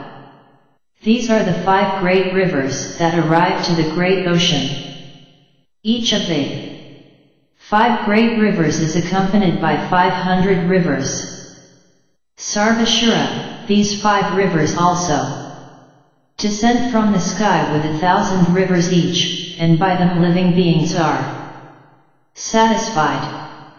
He said, which are the thousand that accompany each of them? The Blessed One said, Sundari is accompanied by a thousand, Shanka is accompanied by a thousand, Vahanti is accompanied by a thousand, Chitrasena is accompanied by a thousand and Dharmavritti is accompanied by a thousand. Sarvashura, these great rivers. Each possess a thousand accompanying rivers. They let fall a stream of rain onto the planet Earth. Sarvashura, they release streams of raindrops from time to time, and this produces flowers and fruits and crops. When they streams of rain are released onto the planet Earth, water will be produced. By the water that is produced, fields and gardens are all satiated and made happy. Sarvashura, it is as follows. To make an analogy, the Lord of living beings makes all the planet Earth happy. Likewise, Sarvashura, this Sanghata is explained on earth for the benefit of many beings and for the happiness of many beings. The lifespan of humans is not like the lifespan of the devas of the 33. If you should ask who are the devas of the 33, Sarvashura, those who dwell where Indra, the lord of the Devas, dwells are called the 33. Sarvashura, there are also sentient beings who engage in good verbal conduct, and it is impossible to make an analogy for their mass of merit, too. There are also sentient beings who engage in faulty verbal conduct, and it is impossible to make an analogy for their hell and animal rebirths. Those sentient beings who come to experience the sufferings of hell beings, animals, and pretas have no refuge whatsoever. Their hopes having been dashed there, they lament and fall into hells. They should be seen as under the power of non-virtuous friends, and those sentient beings, who engage in good verbal conduct and for whose mass of merit it is impossible to make an analogy, they should be seen as under the power of virtuous friends. When one sees a virtuous friend, a Tathagata is seen. When one sees a Tathagata, all one's wickedness is purified. When the Lord of beings causes joy, on earth, it will be impossible to make an analogy for the happiness of the sentient beings. On earth. 22. Sarvashura, likewise, this Sanghata Dharmapariyaya too performs the functions of a Buddha for the sentient beings of the planet Earth. Anyone who has not heard the Sanghata Dharmapariyaya is unable to be completely enlightened in the unsurpassed perfect and complete enlightenment. They are unable to turn the wheel of Dharma. They are unable to beat the gong of the Dharma. They are unable to sit on the lion throne of the Dharma. They are unable to enter the sphere of Nirvana. They are unable to illuminate with countless light rays. Sarvashura, likewise, those who have not heard this Sanghata Dharmapariyaya are also unable to sit in the heart of enlightenment. Sarvashura said, Blessed One, may I ask about a certain wonder? Sugata, may I ask about a certain wonder? The Blessed One said, Sarvashura, ask whatever you wish and I will clear away your doubts. He said, who was that sage who liberated those sentient beings from the karma of the five uninterrupted actions and then placed them one by one on the level of one who will never turn away? He said, the speech of Buddhas is profound. Sarvashura, listen to me. The Sanghata Sutra is a teacher. Manifesting in the form of a sage. The Sanghata manifests, out of kindness. Even bodies of Buddhas. As many grains of sand as the Ganges holds. In just that many forms it teaches. It teaches in the form of a Buddha. It teaches even the essence of Dharma. Who wishes to see a Buddha? Sanghata is equivalent to a Buddha. Wherever the Sanghata is, always there the Buddha is. The Blessed One said, Child of the lineage, listen. Sarvashura, at a time long past, 99 countless eons ago, there arose 12 million Buddhas. When the Tathagata Ratnatama arose, I became courageous in giving, and honored 12 million Buddhas. With the name of Chandra, I attended them with food, drink, fragrance, garlands, lotions. Whatever pleased them, good meals and everything required for their comfort. And, having attended them thus, I recall attaining there a prediction of unsurpassed, perfect, and complete enlightenment. Sarvashura, I recall that there arose 18 million Buddhas named Ratnavavasa. At that time too, having become courageous in giving, I honored 18 million Tathagatas. With the name of Garbhasena with fragrance, garlands, lotions, ornaments and decorative attire, as was appropriate to each, and having done so, I attained thereto a prediction of unsurpassed, perfect, and complete enlightenment. 23. Sarvashura, I recall 20 million Buddhas, and every one of those Tathagatas, Arhats. Perfect and complete Buddhas was named Shikasambhava. Sarvashura, I recall 20 million Buddhas, and every one of those Tathagatas, Arhats. Perfect and complete Buddhas was named Kashyapa. At that time too, having become courageous in giving, I revered the Tathagatas with fragrance, garlands and lotions, and then I offered them reverential service in the way that service should be offered. Reverentially to Tathagatas, and thereto I attained a prediction of unsurpassed, perfect, and complete enlightenment. Sarvashura, there arose 16 million Buddhas named Buddha Vimala Prabhasa, and at that time I was a rich head of household, with great wealth and possessions.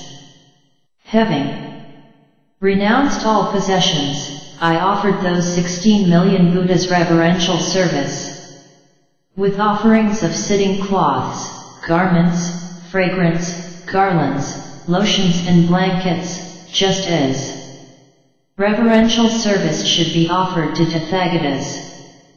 And at that very time I attained a prediction of unsurpassed, perfect, and complete enlightenment. This too I remember, but the prediction's exact time had not yet arrived. Sarvashura, listen. 95 million Buddhas arose in the world, and each and every one of those Tathagatas, Arhats, perfect and complete Buddhas was named Shakyamuni. I, at that time, had become a righteous Dharma king and honored those 95 million.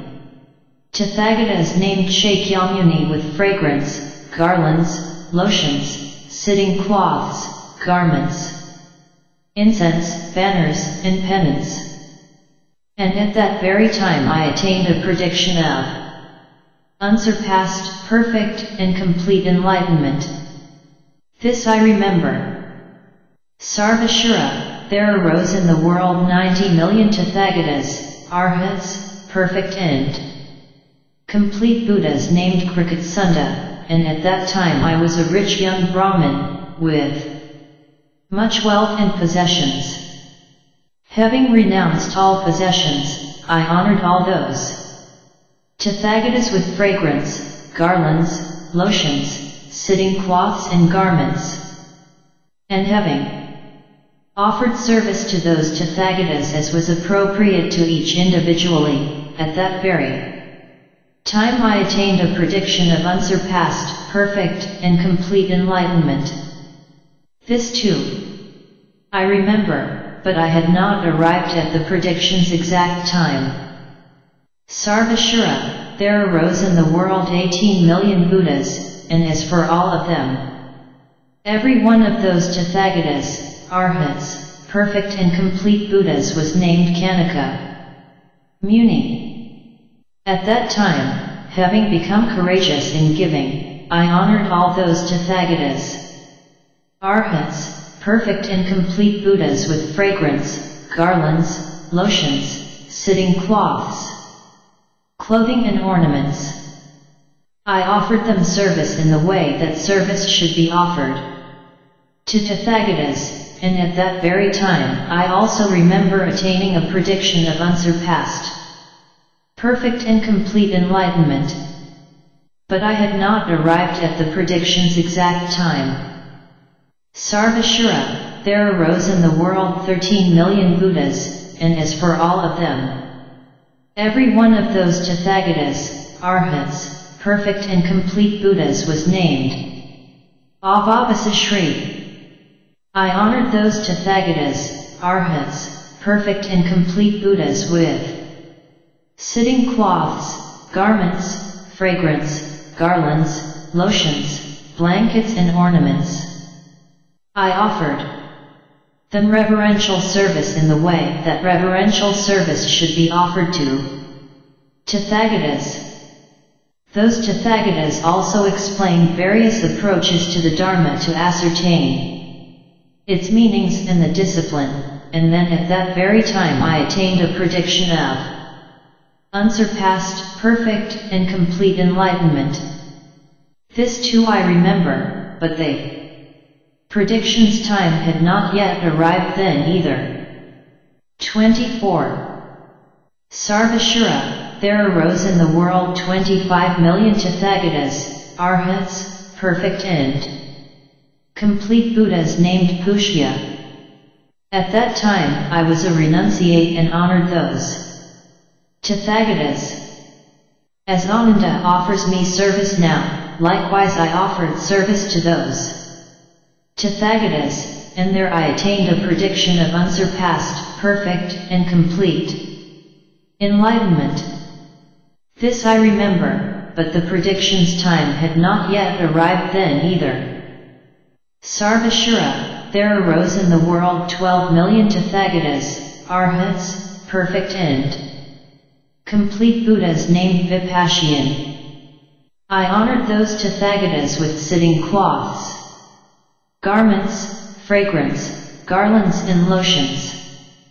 I offered them service in the way that service should be offered to Tathagatas. At that time, at that moment, having become a renunciate.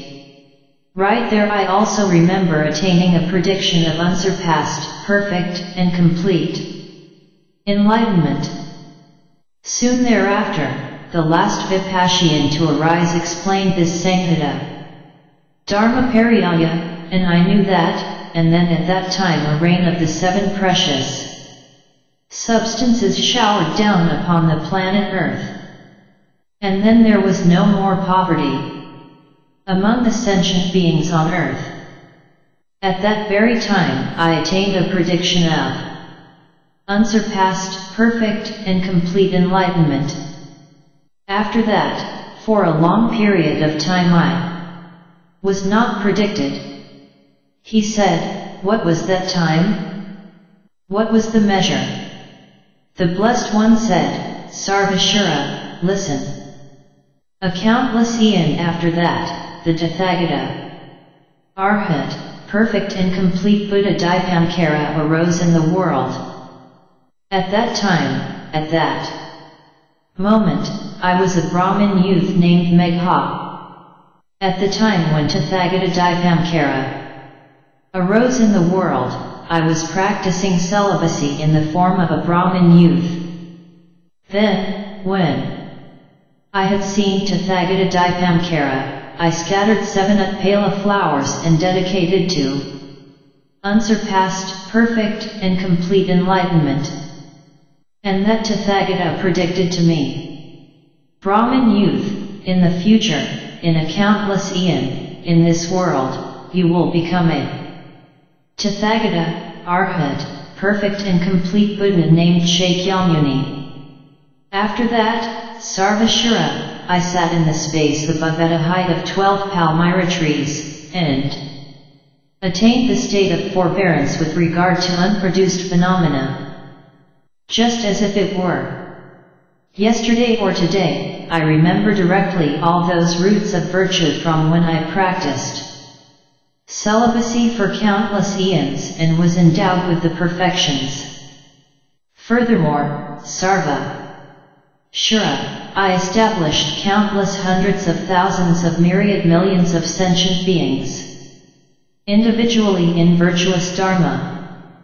Therefore, Sarvashura, now, having been manifestly completely enlightened into unsurpassed, perfect, and complete enlightenment, what need is there to mention that I wish to benefit all sentient beings? Sarvashura, I teach the Dharma in many ways to sentient beings. Whatever the form by which they are to be subdued, I teach the Dharma in that form. In the world of the Devas, I teach the Dharma in the form of a Deva. In the land of the Nagas, I teach the Dharma in the form of a Naga.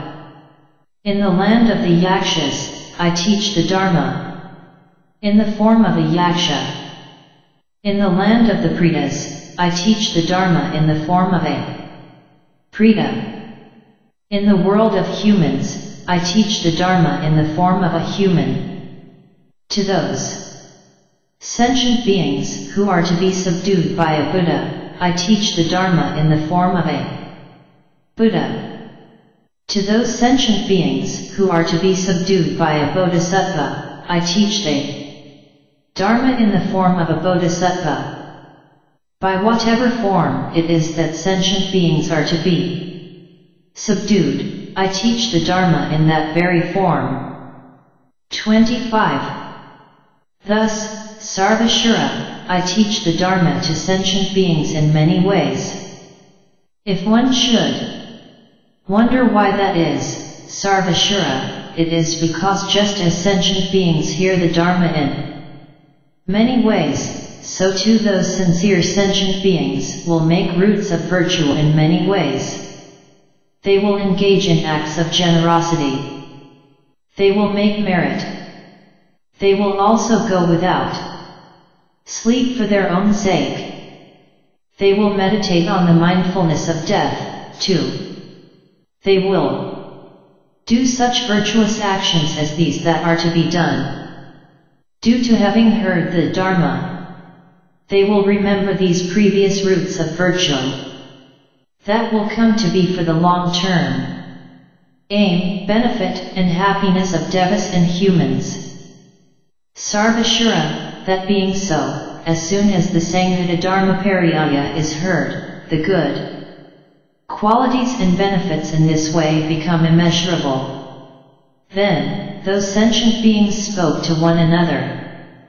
They said, there must be something else also that, by having done and accumulated it, one will be manifestly, completely enlightened in the unsurpassed, perfect, and complete enlightenment, and the result of the virtuous dharma of wanting to benefit all sentient beings will ripen.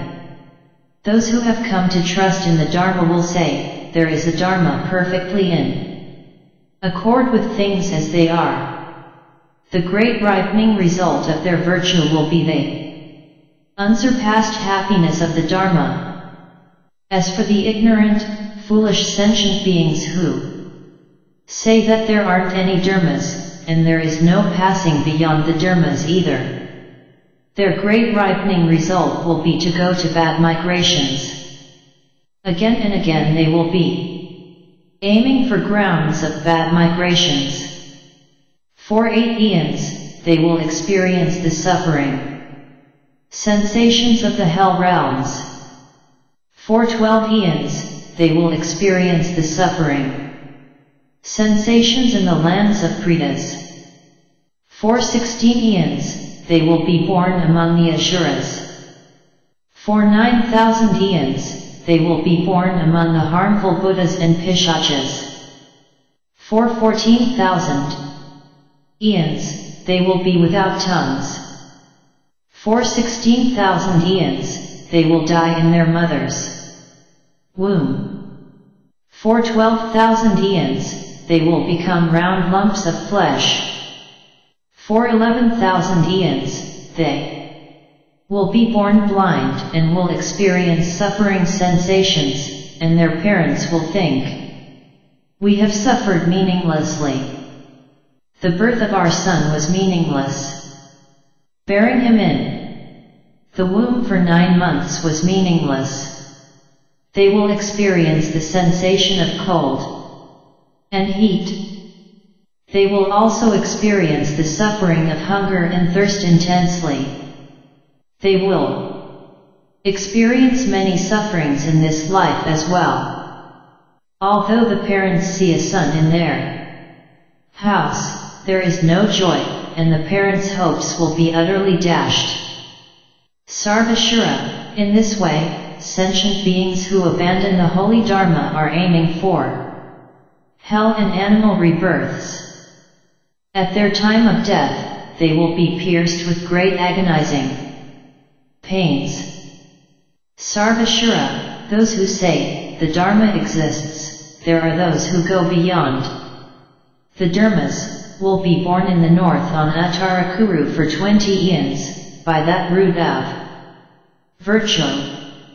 For 25 eons they will be born equal in fortune to the devas of the 30. 3. When they die and transmigrate from the 33, they will be born in the north on Uttarakuru. They will not be born in a mother's womb. They will see 100,000 world systems, and these will all be called Sukhavati. They will see all the Buddha fields as well. After seeing them, they will abide right there in them. They will be enlightened in perfect and complete enlightenment right there. Sarvashura, thus indeed this Sanghata Dharma Pariyaya has great power. Those who have a mind inspired with pure faith toward it will never meet their moment of death without having let go of their fears. They will also be endowed with perfectly pure ethics. 26. Sarvashura, there are some sentient beings who say, the Tathagata releases many sentient beings day and night, and yet the realm of sentient beings still has not been depleted. Many make prayers for enlightenment. Many are born in the worlds of higher rebirths. Many achieve nirvana. So why is it that the realm of sentient beings has not been depleted? The heretical practitioners of other traditions, wandering mendicants, and naked ascetics, had this thought, let us go dispute with the renunciate Gautama. Then 84,000 Brahmins, heretical practitioners of other traditions and wandering mendicants, and many hundreds of naked ascetics arrived there in Rajagriha. And at that time, at that moment, the Blessed One displayed a smile. At that, the Bodhisattva, the great being Maitreya arose from his seat, placed his upper robe over one shoulder, set his right knee on the ground and bowed down with palms together toward the Blessed One.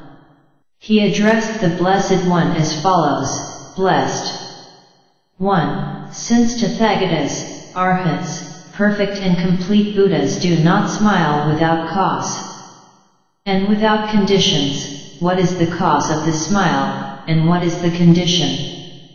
The Blessed One said, Child of the lineage, listen. Today a great assembly will appear. Here in Rajagriha. Blessed One, who will be here? Devas or Nagas or Yakshas or humans or non-humans? The Blessed One said, Maitreya, today Devas, Nagas, Yakshas, humans and non-humans will all come here. 84,000 Brahmins will also come here. 9,000 million heretical practitioners, wandering mendicants, and naked ascetics will come, and they will dispute with me. I will teach the Dharma to pacify the disputes of all of them. The Brahmins will all generate the thought of unsurpassed, perfect, and complete enlightenment. The 9,000 million heretical practitioners, wandering mendicants and Naked ascetics will all attain the fruit of stream entry. 18,000 million Naga kings will come, and they will hear the Dharma from me. After they have heard it, they will all generate the thought of unsurpassed, perfect, and complete enlightenment. 60. Thousand million children of the Devas of the pure abodes will come. 30,000 million wicked Maras and their attendants will come. Twelve thousand million Ashura kings will come. Kings, five hundred in number, together with their retinues, will come to hear the Dharma. After hearing the Dharma from me, they will all generate the thought of unsurpassed, perfect, and complete enlightenment. At that, the Bodhisattva, the great being Maitreya prostrated with his head at the feet of the Blessed One, and after circumambulating the Blessed One three times, disappeared on that very spot. At that, the Bodhisattva, the great being Sarvashura arose from his seat, placed his upper robe over one shoulder, set his right knee on the ground, placed his palms together and bowed down to the Blessed One. He said to the Blessed One, Blessed One, what are they? Names of those kings, 500 in number. The Blessed One said, Sarvashura, listen. There is the king called Nanda, the king. Called Upananda, the king called Shava, the king called Brahmasena, the king. Called Brahmaghosha, the king called Sudarshana, the king called Priyasena, the king called Nandasena, the king called Bimbisara, the king called Prasenajit, and the king 27 called Virudhaka. There are these, and the rest of the kings, 500 in number, and each of them has 100,000 million attendants. With the exception of Virudhaka, each and every one of them has set out for unsurpassed, perfect, and complete enlightenment. 30. Thousand million bodhisattvas are coming from the eastern direction. 50,000 million bodhisattvas are coming from the southern direction. 60,000 million Bodhisattvas are coming from the western direction. 80,000 million bodhisattvas are coming from the northern direction. 90,000 million bodhisattvas are coming from below. 100,000 million bodhisattvas are coming from above, and each and every one of them is abiding on the ten grounds. Then, in order to see the Blessed One, all those bodhisattvas proceeded to Rajagriha, to where the Blessed One was. And all those bodhisattvas, each and every one, had set out for unsurpassed, perfect, and complete enlightenment. Then the Blessed One said to the Bodhisattva, the great being Sarvashura, Sarvashura, Go to the world systems of the ten directions and say to all the Bodhisattvas, today, in the great city of Rajagriha, the Tathagata is teaching the Dharma. Therefore, all you residents of the world systems in the ten directions, place your palms together and bow down in homage. Say this, and as soon as you have made it understood, come back immediately to listen to the Dharma. At that, the Bodhisattva, the great being Sarvashura arose from his seat, prostrated with his head at the feet of the Blessed One, circumambulated the Blessed One three times, and then disappeared through supernatural powers. Then the Bodhisattva, the great being, Sarvashura went to the world systems of the ten directions and instructed the Bodhisattvas, today, in the great city of Rajagriha, the Tathagata is teaching the Dharma. Therefore, you should reply to that, excellent, and on account of that, on this very day you will receive benefit and attain great bliss.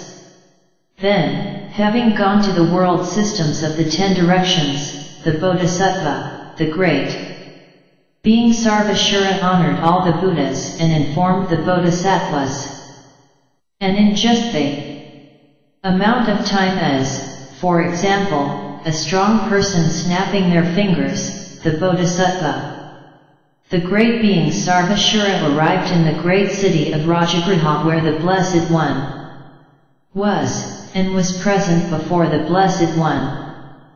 Then the Brahmins, heretical practitioners of other traditions, wandering mendicants and naked ascetics also gathered. Devas, Nagas, Yakshas, many human beings, the kings, 500 in number, together with their attendants, and 33,000 million wicked Maras, together with their attendants, also gathered. And at that time the great city of Rajagriha trembled.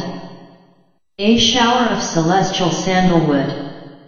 Powder rained down on the world systems in the ten directions, and a shower of celestial flowers also rained down and remained in a towering palace at the level of the top knot on the crown of the Blessed One's head. Also at that time, Indra, the lord of the Devas, wielded a thunderbolt in the presence of the Tathagata. Then at that time, from the four directions, four massive winds stirred up the earth. After they rose up, they carried off the garbage, sweepings, and dust from the great city of Rajagriha. A shower of fragrant, Waters rained down on the world systems of the ten directions. A shower of Utpala. Flowers, lotuses, kumuda flowers, and white lotuses rained down on the world systems of the ten directions, and they all remained as flower canopies above the heads of all those. 28. Sentient beings 84,000 towering palaces remained motionless in the space. Above the crown of the head of the Tathagata. Within the 84,000 towering palaces there arose 84,000 thrones made of the seven precious substances. On all of those thrones, Tathagatas are seated and teach the Dharma. Then this galaxy of a billion world systems trembled in six ways. At that, the Bodhisattva, the great being Sarvashura placed his palms together, bowed toward the Blessed One, and said to the Blessed One, Blessed One, what is the cause? What is the condition for the display of such supernatural apparitions here in the great city of Rajagriha? The Blessed One said, it is as follows, to make an analogy, a king rubbed the head of Some unstable man, wild, full of ego grasping, full of selfish grasping at things as his own and also poverty stricken. That man went up to the king's gate. Once he arrived there, he insistently wished to enter inside the palace of the king. At that, the king's ministers and retinue seized him and beat him in many ways. Then at that time, at that moment, the king heard that the destitute man insistently wanted to enter inside, and thought, he is undoubtedly someone wishing to kill me. Thinking that, the king became angry and said to his retinue, You, take that man to a secluded mountain spot and kill him. Kill all his servants, parents, children, male and female slaves, and workers, too. After he had issued these instructions, they were all killed, and then his friends and relatives were pierced with unbearable agonizing pains. In the same way too, as soon as the Tathagata, Arhat, perfect and complete Buddha explains the Dharma, just like that. Arrogant person, childish ordinary individuals also, with respect to the Tathagata, sees upon the form, color, marks, and shape as identifying signs, and think it is the body of the Tathagata. Then, after they have heard many Dharma teachings, they fall into exceptional arrogance and speak all kinds of nonsense. Overcome by ego grasping and selfish grasping at things as their own they do not themselves listen to this sort of Dharma, nor do they proclaim it.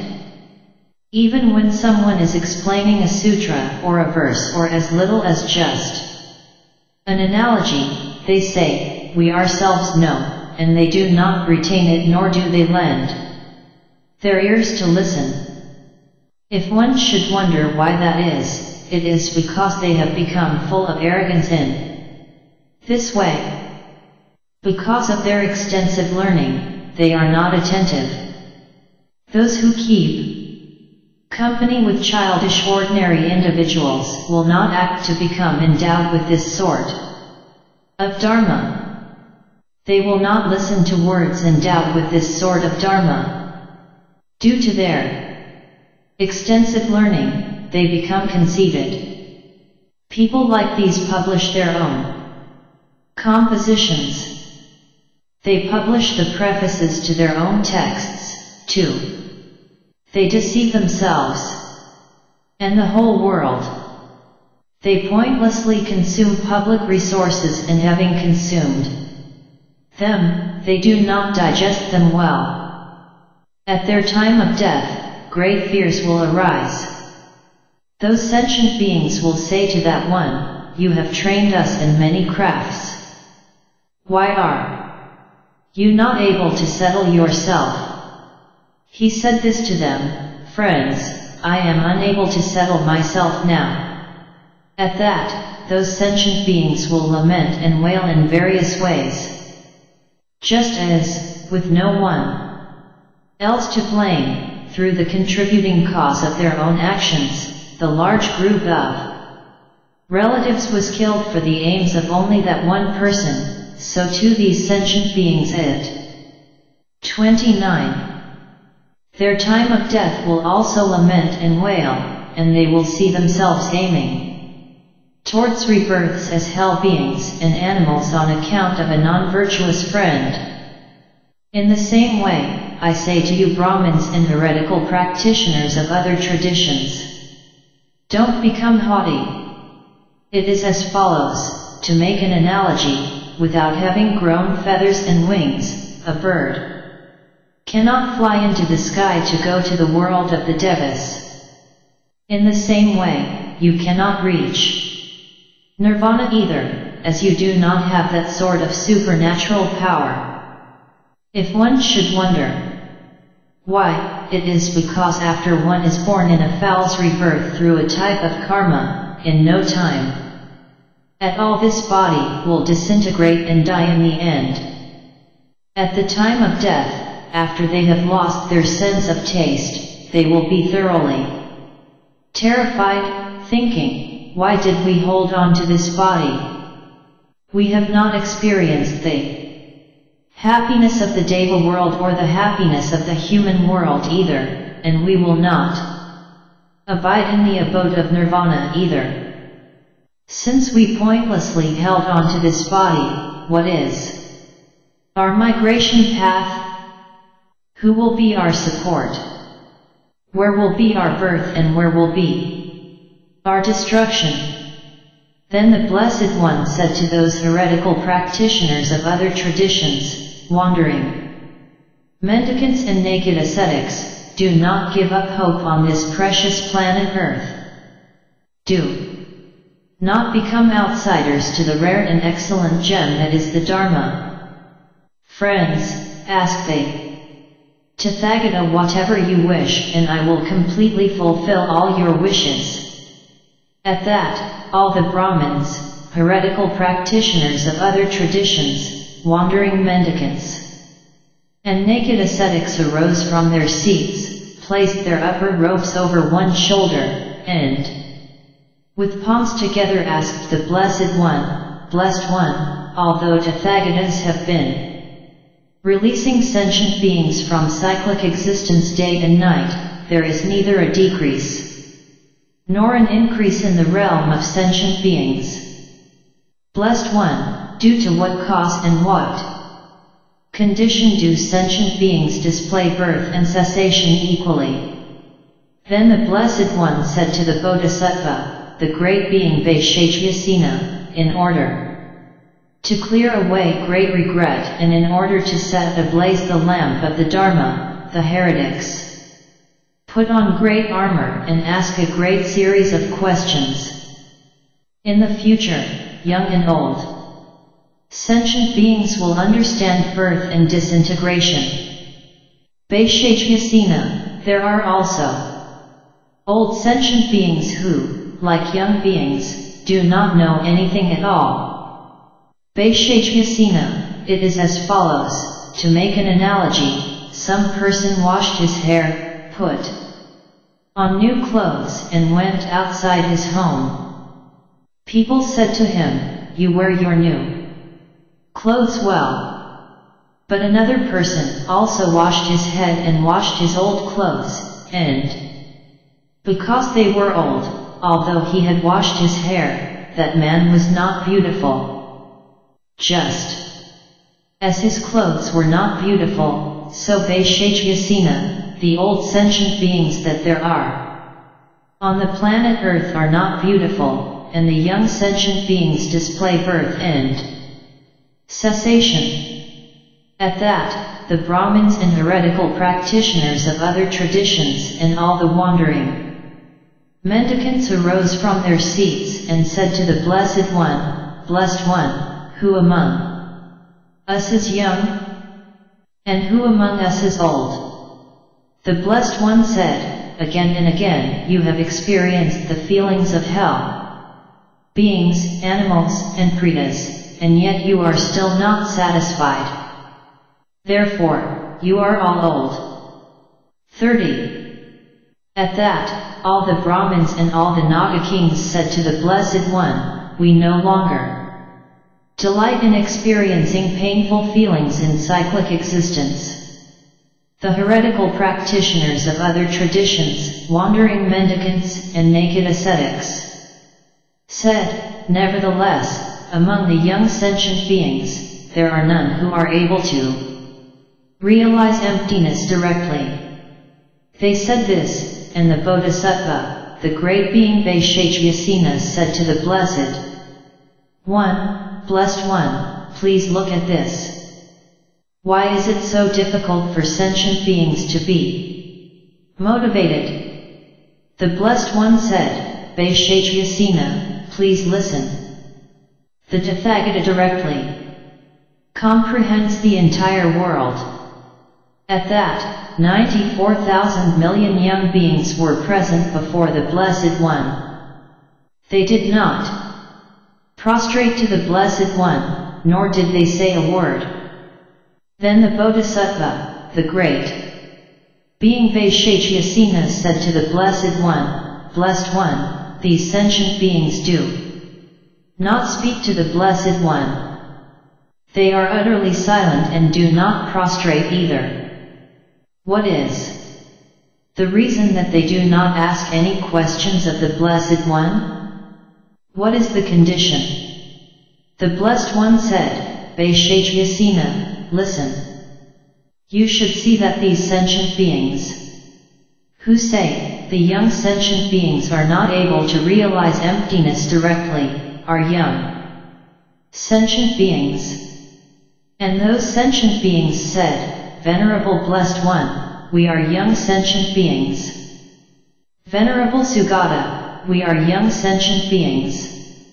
The Blessed One said, these sentient beings comprehend the world directly, but now, display the measure of the world from your own bodies. At that time, at that moment, the 94,000 million young beings, without leaving their bodies, hovered in the middle of space and attained the ten grounds. Then the Bodhisattva, the great being Bhaishajyasena said to the Blessed One, such sentient beings who make an effort to completely exhaust and completely purify cyclic existence have well achieved their achievement. Blessed One, these sentient beings were born on this very day and, Blessed One, on this very day these sentient beings were thoroughly liberated and they were all seen to attain the ten grounds. At that, the Brahmins and heretical practitioners of other traditions, wandering. Mendicants, naked ascetics, Naga kings, and the wicked Mara and his retinue all arrived. For the purpose of deceiving, and said to the Blessed One, Blessed One, we have come. Here before the Tathagata, and now that we have heard this Dharma Pariyaya, may we attain the sort of happiness of a Buddha. May we become just that sort of Tathagata, Arhat. Perfect and complete Buddha in the world. The Blessed One said, just so, gentlemen. Regardless of how you have come to today. Tathagata, since you have heard this Sanghata Dharma Pariyaya, you have generated the mind of the unsurpassed, perfect, and complete enlightenment. That being so, before long, you will all be fully and completely enlightened into the unsurpassed, perfect and complete enlightenment. 31. As soon as the Blessed One had spoken these words, all those heretical practitioners of other traditions immediately attained the state of forbearance with respect to unproduced phenomena. They also all became bodhisattvas established on the ten grounds, and thereupon, all those bodhisattvas rose up into the air to a height of seven palmyra trees and offered to the Tathagata towering palaces made of the seven precious substances. They also all sustained various miraculous emanations and performed acts displaying supernatural powers. Then, abiding above the crown of the head of the Blessed One, they scattered bits of flowers on the Tathagata, and they all contemplated the Tathagata, too. They also perceived their own bodies as Buddhas. Many hundreds of thousands of millions of Deva sons also scattered flowers on the Tathagata and spoke these words, the ascetic Gautama is a great gain. He is a great field. He is a protector of the world. He has reached the attainment of meditative stabilization he is a master, whose aim is to produce other masters. Through skillful means, gradually, he completely releases sentient beings such as these from cyclic existence.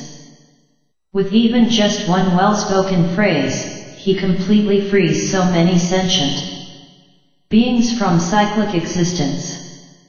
At that, the Bodhisattva, the great being Bhaishajyasena arose from his seat, placed his upper robe over one shoulder, set his right knee on the ground, and bowed with his palms together toward the Blessed One. He said to the Blessed One, Blessed One, due to what? Cause and what condition do these children of the lineage issue forth these words? Perform many acts displaying supernatural powers and compose many praises of the Tathagata. The Blessed One said, Child of the lineage, listen. They are not praising me. Rather, they are praising their own bodies, and they will establish their own bodies as a holy seat of Dharma. They will emit light rays of Dharma from their bodies. All the Buddhas will support them too, in order to awaken them fully and completely in the unsurpassed, perfect and complete enlightenment, and when they have become fully and completely enlightened, they will teach the Dharma. Then the Bodhisattva, the great being Bhaishajyasena said this to the Blessed One, they Tathagata, the Sugata completely frees many sentient beings day and night, yet sentient beings still have not been depleted. The Blessed One said, Bhaishajyasena, it is good, very good that you have thought to question the Tathagata on this point.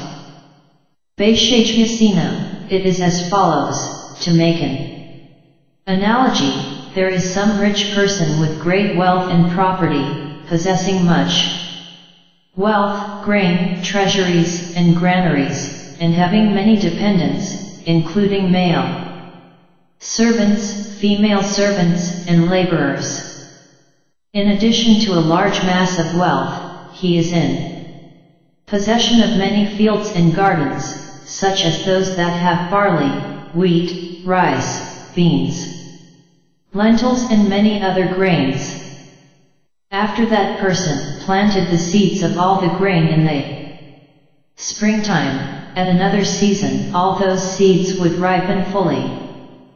That man would place the various types of grain separately, and having stored them there, he would eat them.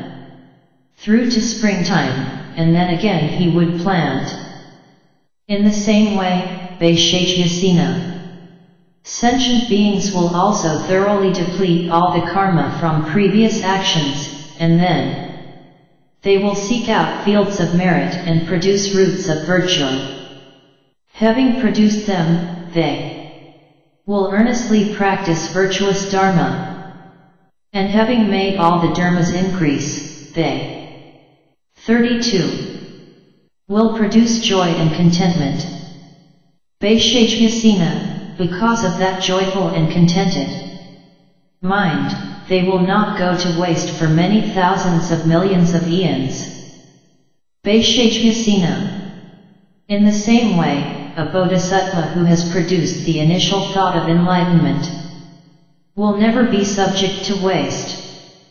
In short, they will realize all dharmas.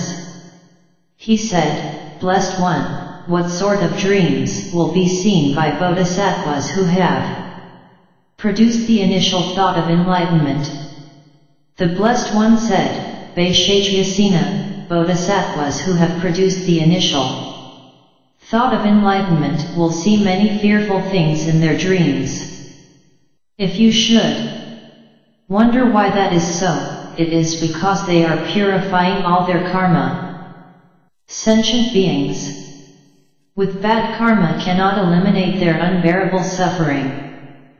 But the former, although seeing a bad dream, is not afraid. He said, Blessed One, in what way will fearful things be seen in the dreams of Bodhisattvas who have produced the initial thought of enlightenment? The Blessed One said, Bhaishajyasena, a fire will be seen blazing. At that, they, Bodhisattvas, should know that all their delusions have been burned. Secondly, Vaisheshya, Sina, although bodhisattvas who have produced the initial thought of enlightenment see water stirred up and greatly churning, they will not be afraid. If you should wonder why, that is, Bhaishajyasena, in this way all the bondage due to ignorance is cast aside and what is bad is purified.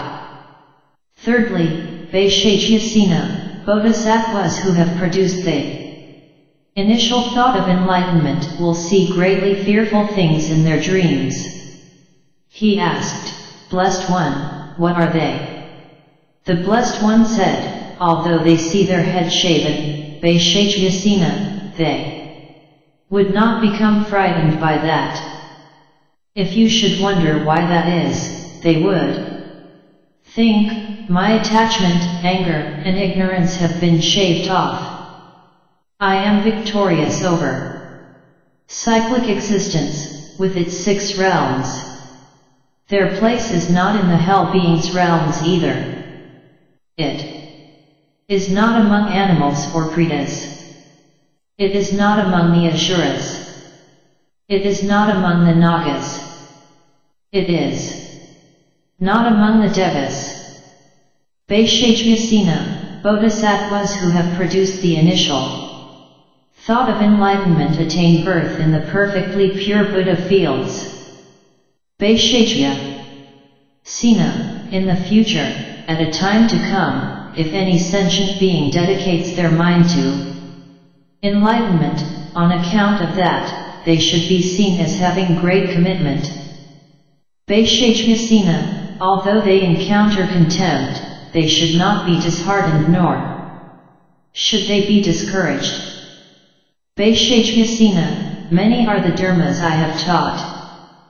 Bhaishajyasena, for some hundreds of thousands of myriad millions of eons, I engaged in arduous activities.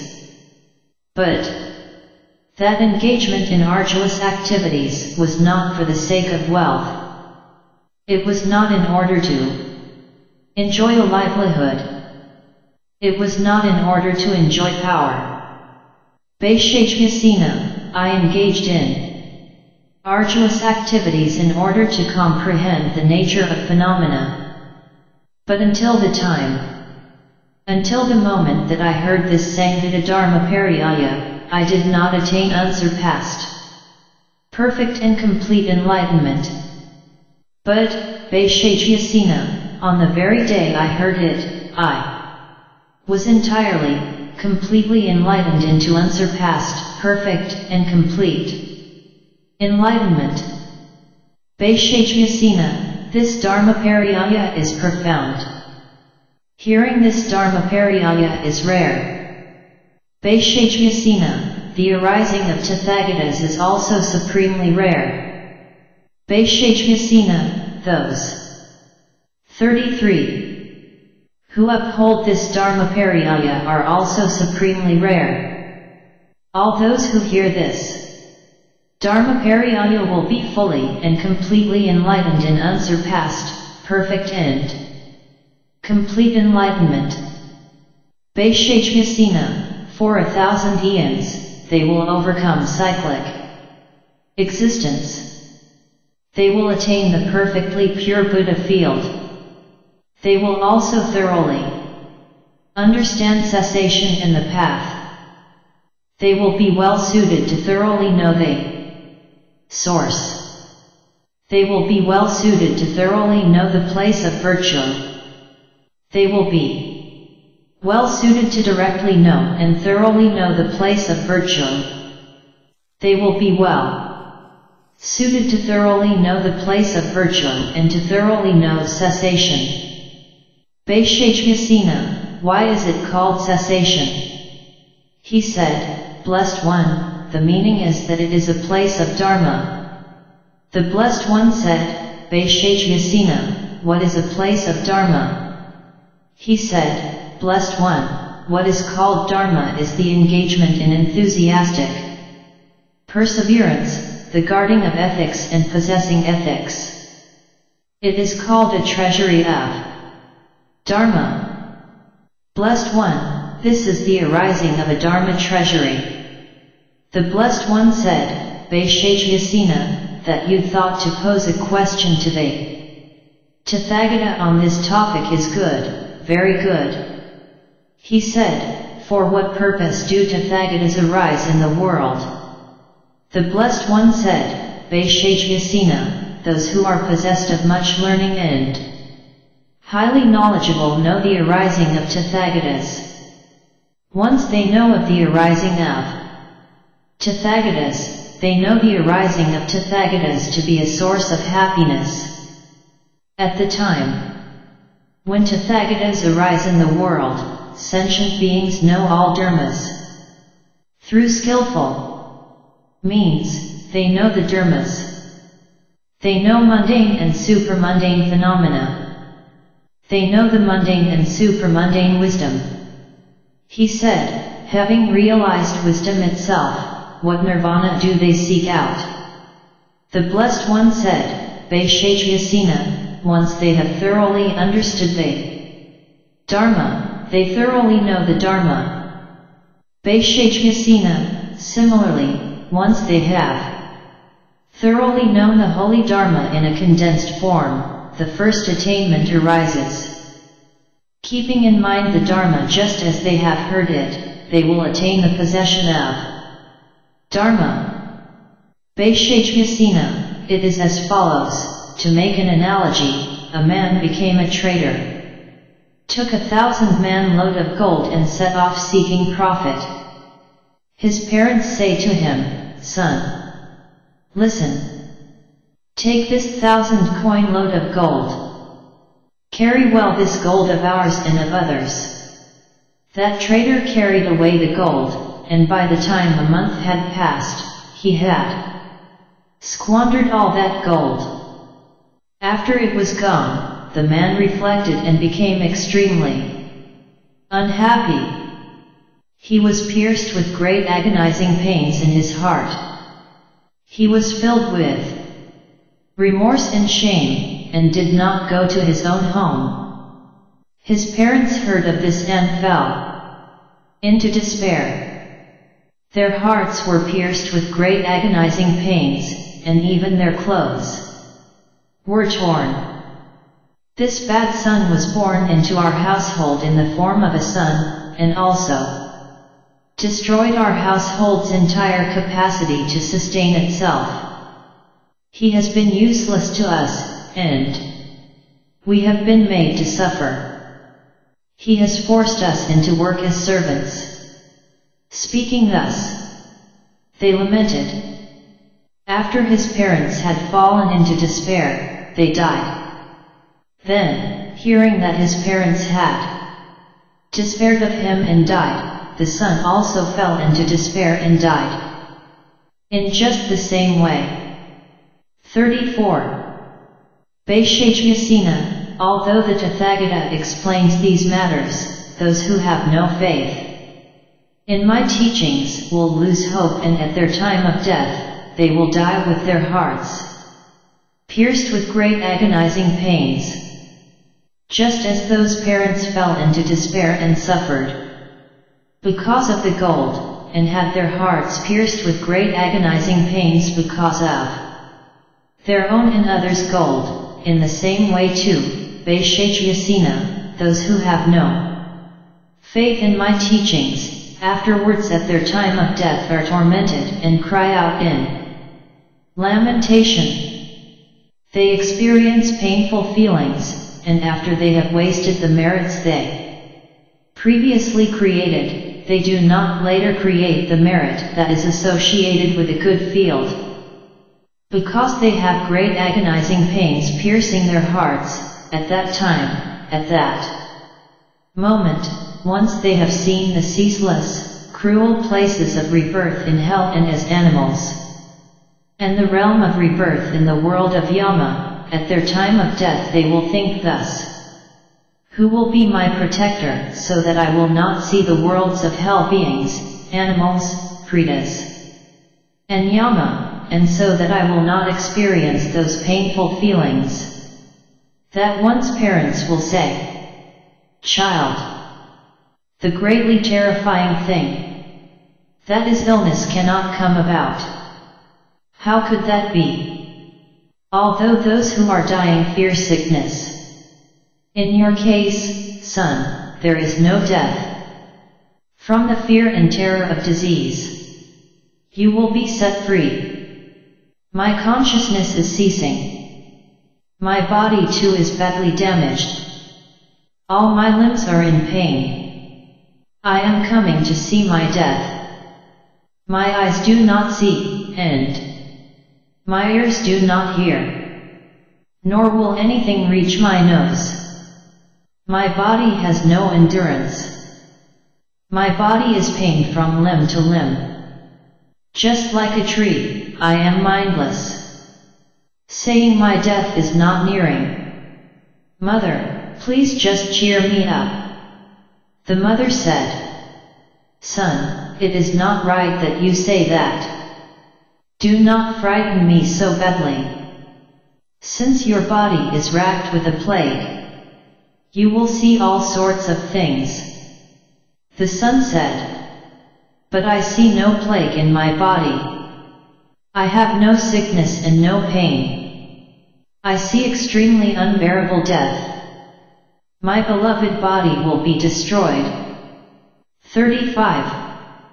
Since I have seen my whole body overpowered by suffering, to whom will I go for refuge? Who will be my protector? The parents said, Son, a deva must be punishing you, but if offerings are made to the devas, after that, you will recover. The son said, Whatever will make me recover. I ask you please to do just that. Please go quickly and make haste. And make inquiries to the priest. At that, his parents went before the altar of the Deva, and gave incense for the Deva. Then the priest offered the incense to the Deva, and said the following, the Deva is punishing you, therefore you must honor the Deva. Sacrifice to the Deva. Kill livestock. Kill a man, too, and then your son will be released from his illness. At that, those parents thought, but we are poor. What can we do? If we don't appease the Deva, our son will die. If we are to appease him, since we're poor, from where will we get a person and livestock? With these thoughts, they made haste and quickly went home. They took the few household items of any substance that they possessed, to sell in order to buy livestock. After that they approached another man. Sir, if you could give us some gold on loan and we are able to pay it back in ten days. That would be good. But if we are unable to pay it, we agree now to become your servants. And do work. They said this, and then the two of them carried off that gold and went to buy a man. The two of them bought a man, but that man did not know that he would be killed. At that, the parents became confused and did not return to their home. Instead, they went before the altar and said to the priest, Quick, make the sacrificial offering. Then the two parents killed the livestock themselves, and they also killed the man. Then, the priest, intending to make the sacrificial offering, kindled a fire, and at that, the Deva descended and said, I have accepted your son. Then the parents overflowed with joy and elation. If our son is cured, even if we become servants, that is far superior, they said. After making the sacrifice to the Deva, they returned home, and when they arrived there, they saw that their son had died. At that, the two parents, suffering and in deep despair, were pierced through their hearts with great agonizing pains. With their hopes dashed, they died right there, and in just the same way, Bhaishajyasena, one should not associate with non-virtuous friends. He said, Blessed One, may I ask where those sentient beings were born? The Blessed One said, Be quiet, Bhaishajyasena. Do not ask me. 36. He said, Blessed One, I ask. Sugata, I ask. The Blessed One said, on that occasion, Bhaishajyasena, the mother was born in the great hell called the hell of lamentation. The father was born in the great hell called crushing hell. The son was born in the great hell called hot hell. The priest was born in the great hell of Avici. He said, Blessed One, where was that innocent man reborn? What was his future life? The Blessed One said, Here, Bhaishajyasena, that blameless man was reborn among the Devas of the heaven of 33. He said, Blessed One, what was the reason and what was the condition for that man to be born equal in fortune to the Devas of the heaven of 33? The Blessed One said, listen, Bhaishajyasena. That man, at his time of death, with a mind of faith in the Tathagata, said one time, I prostrate to the Buddha. Bhaishajya.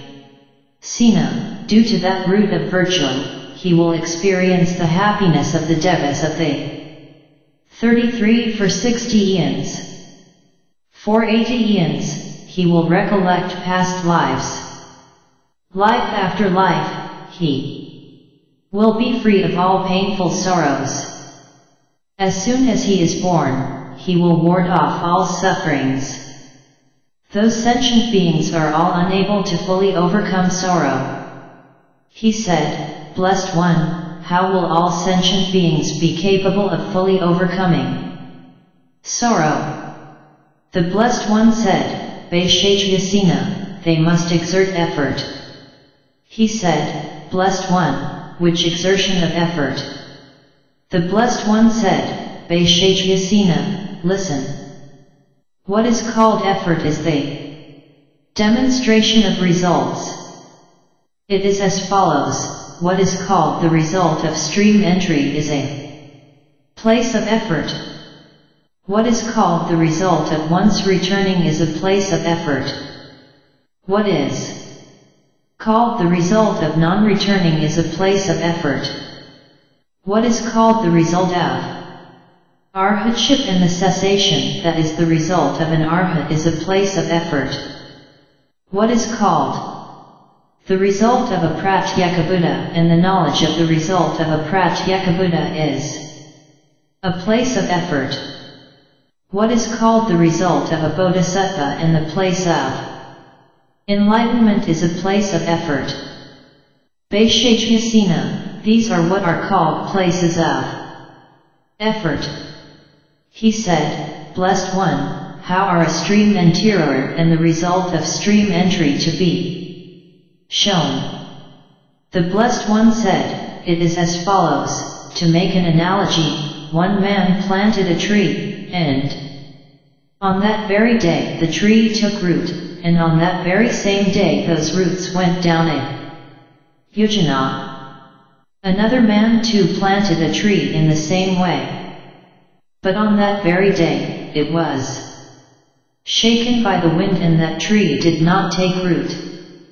Then this man removed the tree from that place, and also the other man said, Why did you dig up my earth? And they quarreled and disputed. After that, at that time the king heard that those two men were quarreling and disputing, and he sent a messenger, saying, Go and bring those two men. As you command, your majesty, he said and raced off in great haste. He said to the two men, the king summons you. 37. At that, one of the men became frightened and apprehensive.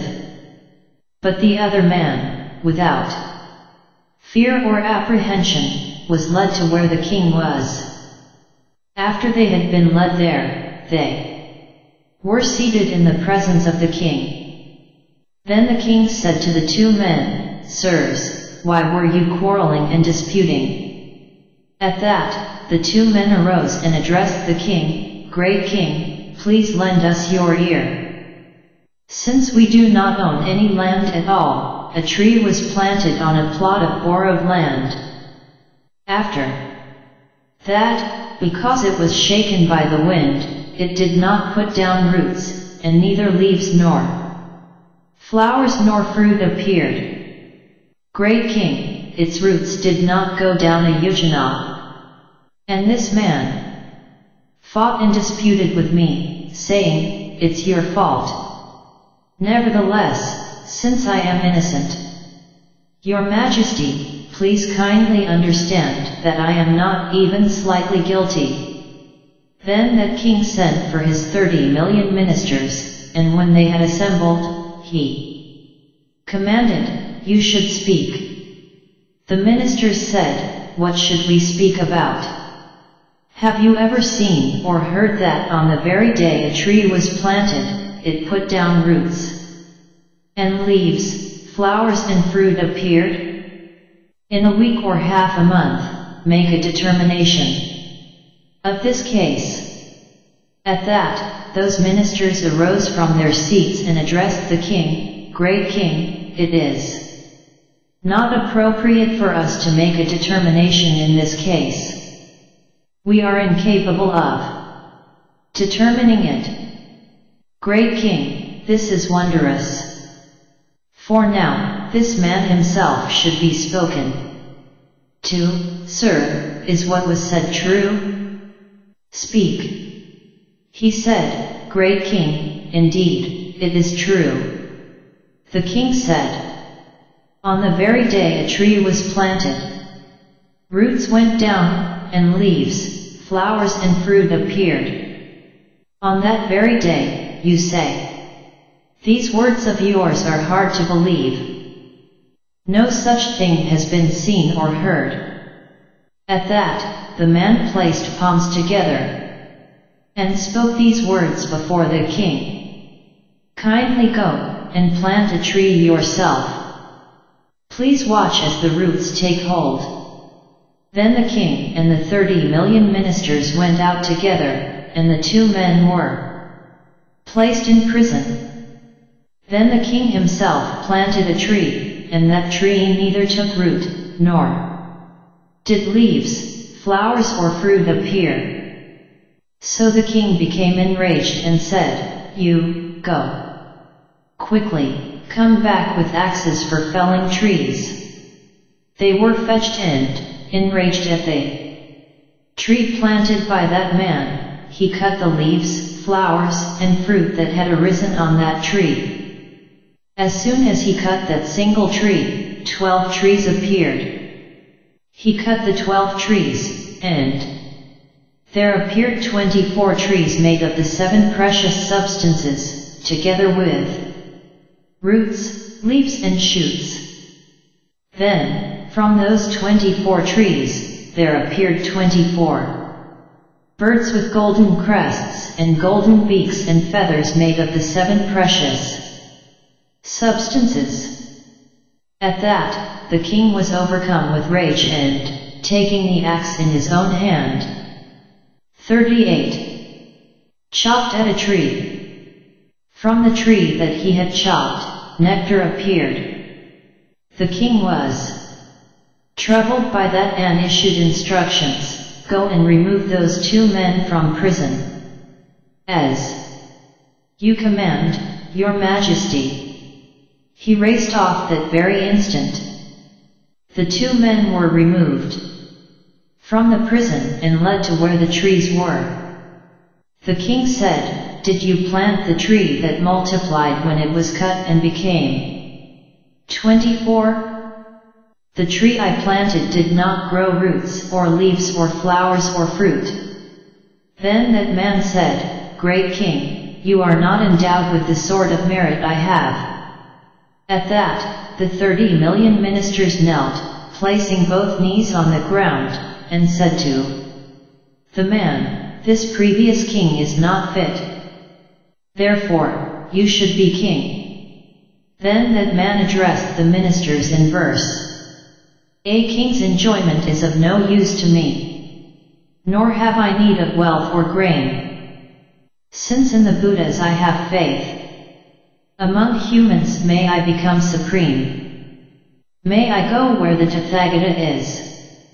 To the sphere of nirvana, which is peace. The Dharma that leads home to nirvana. That should be explained to you. Seating himself cross-legged. He then made this avowal. Due to actions I did in the past. I came to be in the king's jail. But by uttering this prayer, may my karma be depleted. At that, 24 million birds with diamond beaks struck cymbals. Then at that time, at that moment, 32,000 towering palaces appeared. Each of the towering palaces measured 25 yojanas, and from each towering palace, there emerged 25 million birds, with golden crests and golden beaks and golden faces. They uttered human speech. When you, O king, cut that tree, the deed that you did was not good. In place of a hundred million trees, there came to be just twenty-four. You did not know what sort of being is the one who planted this tree. Due to this wicked act, you will later undergo unpleasant results. The king said, I do not know the meaning of this. Thus, great ascetic, please explain.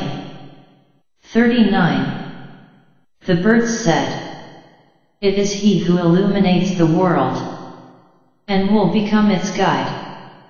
From the prison that is samsara, he liberates all beings. The king said, The person whose tree did not grow. That second person, who was he? What wicked action did he do?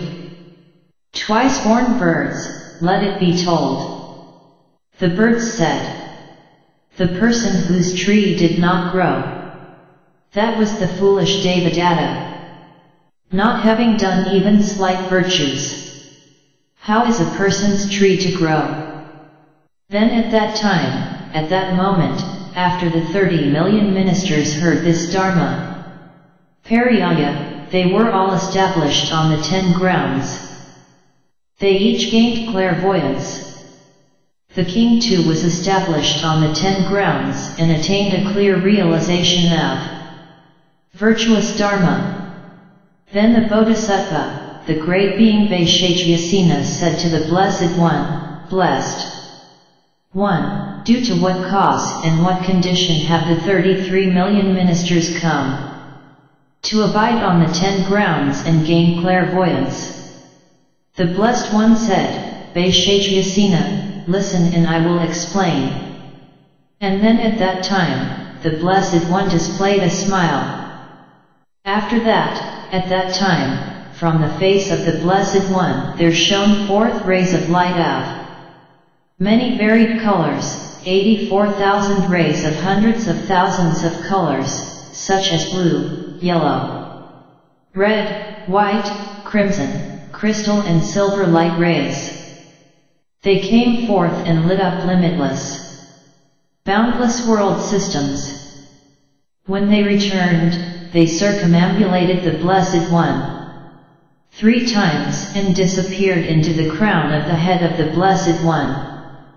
At that, the Bodhisattva, the great being Bhaishajyasena arose, placed his upper robe over one shoulder, set his right knee on the ground, bowed with his palms together toward the Blessed One and said the following to the Blessed One, Blessed One, since Tathagatas, Arhats, perfect and complete Buddhas do not smile without cause and without conditions. What is the cause of the smile and what are the conditions? The Blessed One said, Bhaishajyasena, do you see groups of beings from all the world? Systems of the four directions coming toward me. He said, Blessed One, I do not see them. The Blessed One said, Bhaishajyasena, in that case, examine carefully and look at the groups of beings. Then the Bodhisattva, the great being Bhaishajyasena looked all about, and he saw that to the east there appeared a tree measuring some 7,000 yojanas. 25,000. 40 million groups of people were assembled on one side of it. The people did not speak. They did not talk. They did not converse. They did not eat. They did not arise. They did not move about. They sat in silence. To the south, there appeared a tree measuring some 7,000 yojanas. 25,000 million groups of people were assembled by it. These people did not talk and did not speak either. They did not speak at all. They did not converse at all. They did not arise. They did not move about. They sat in silence. To the west, there appeared a tree measuring some 7,000 yojanas. 25,000 million groups of people were assembled by it. These people did not talk either. They did not speak. They did not speak at all. They did not converse at all. They did not arise. They did not move about. They sat in silence. To the north, there appeared a tree measuring some 7,000 yojanas. 25,000 million groups of people were assembled by it. These people did not talk either. They did not speak. They did not speak at all.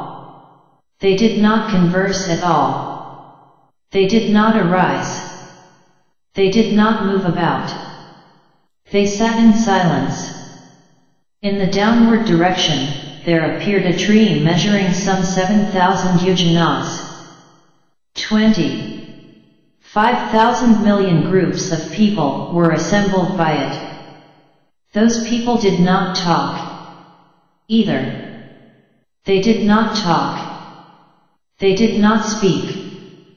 They did not speak at all. They did not converse at all.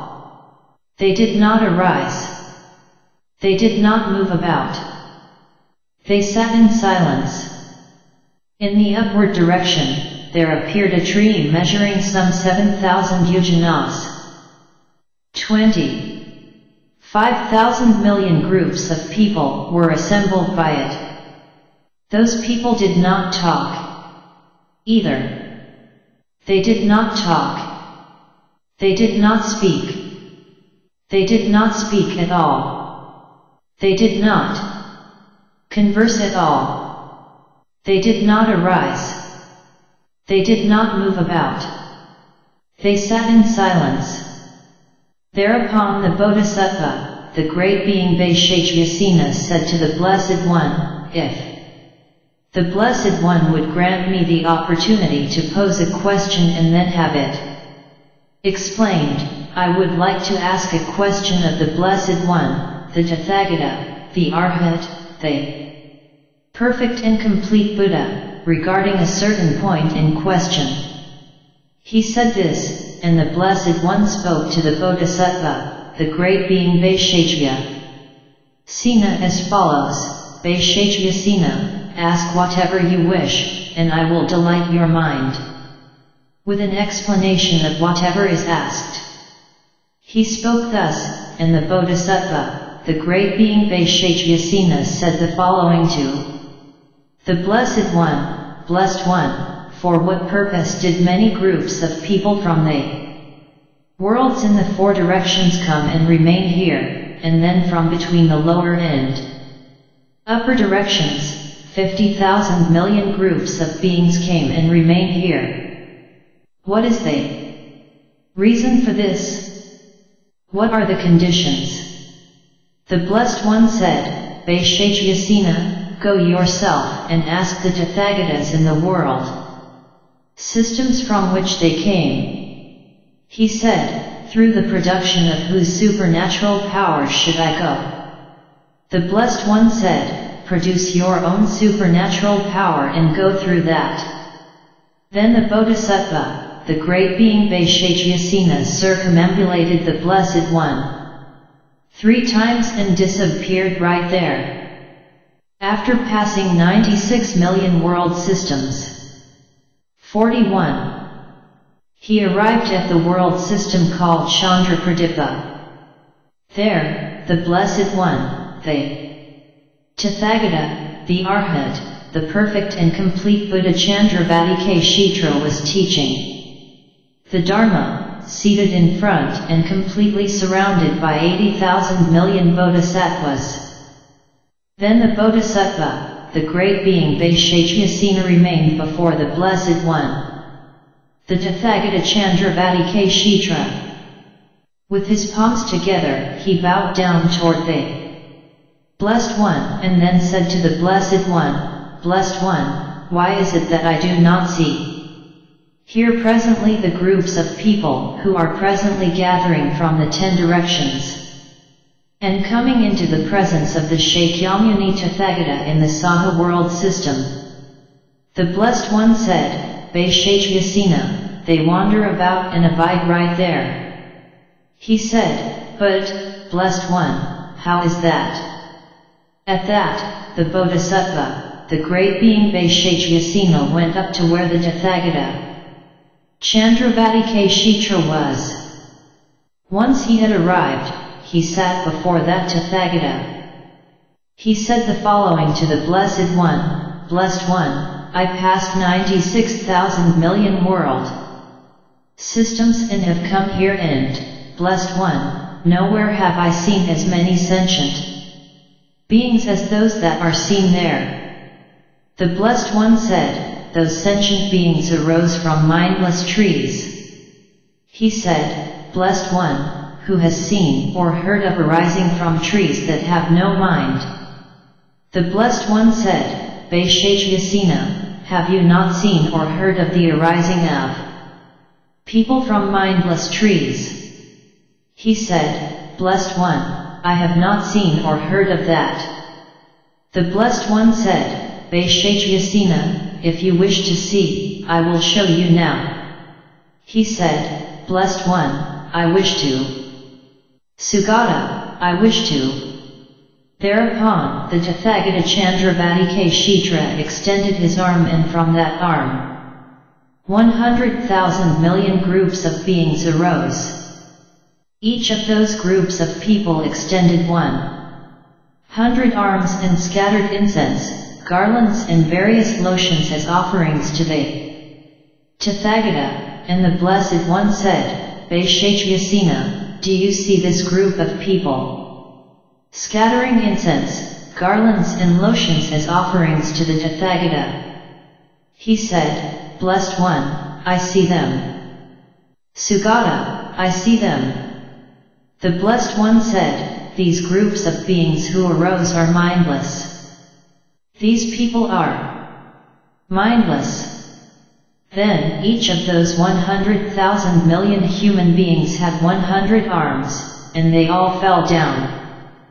Then when the Bodhisattva, the great being Vaisheshyasena had seen that, he said to the Blessed One, Blessed One, what is this?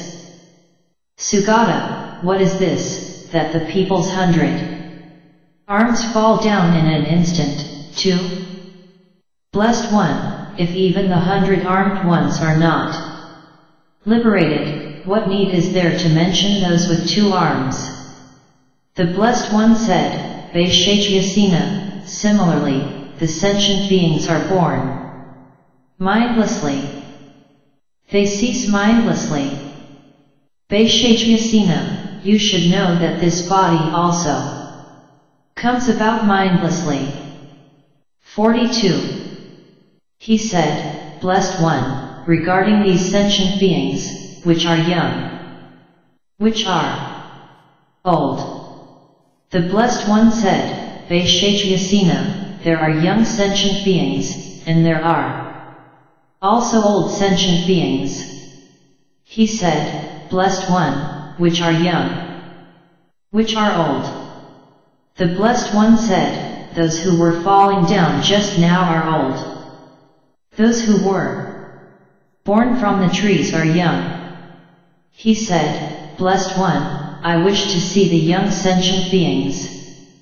At that, the Tathagata Chandravatikeshitra extended the palm of his right hand, and thereupon there came 100,000 million groups of people from each of the ten directions.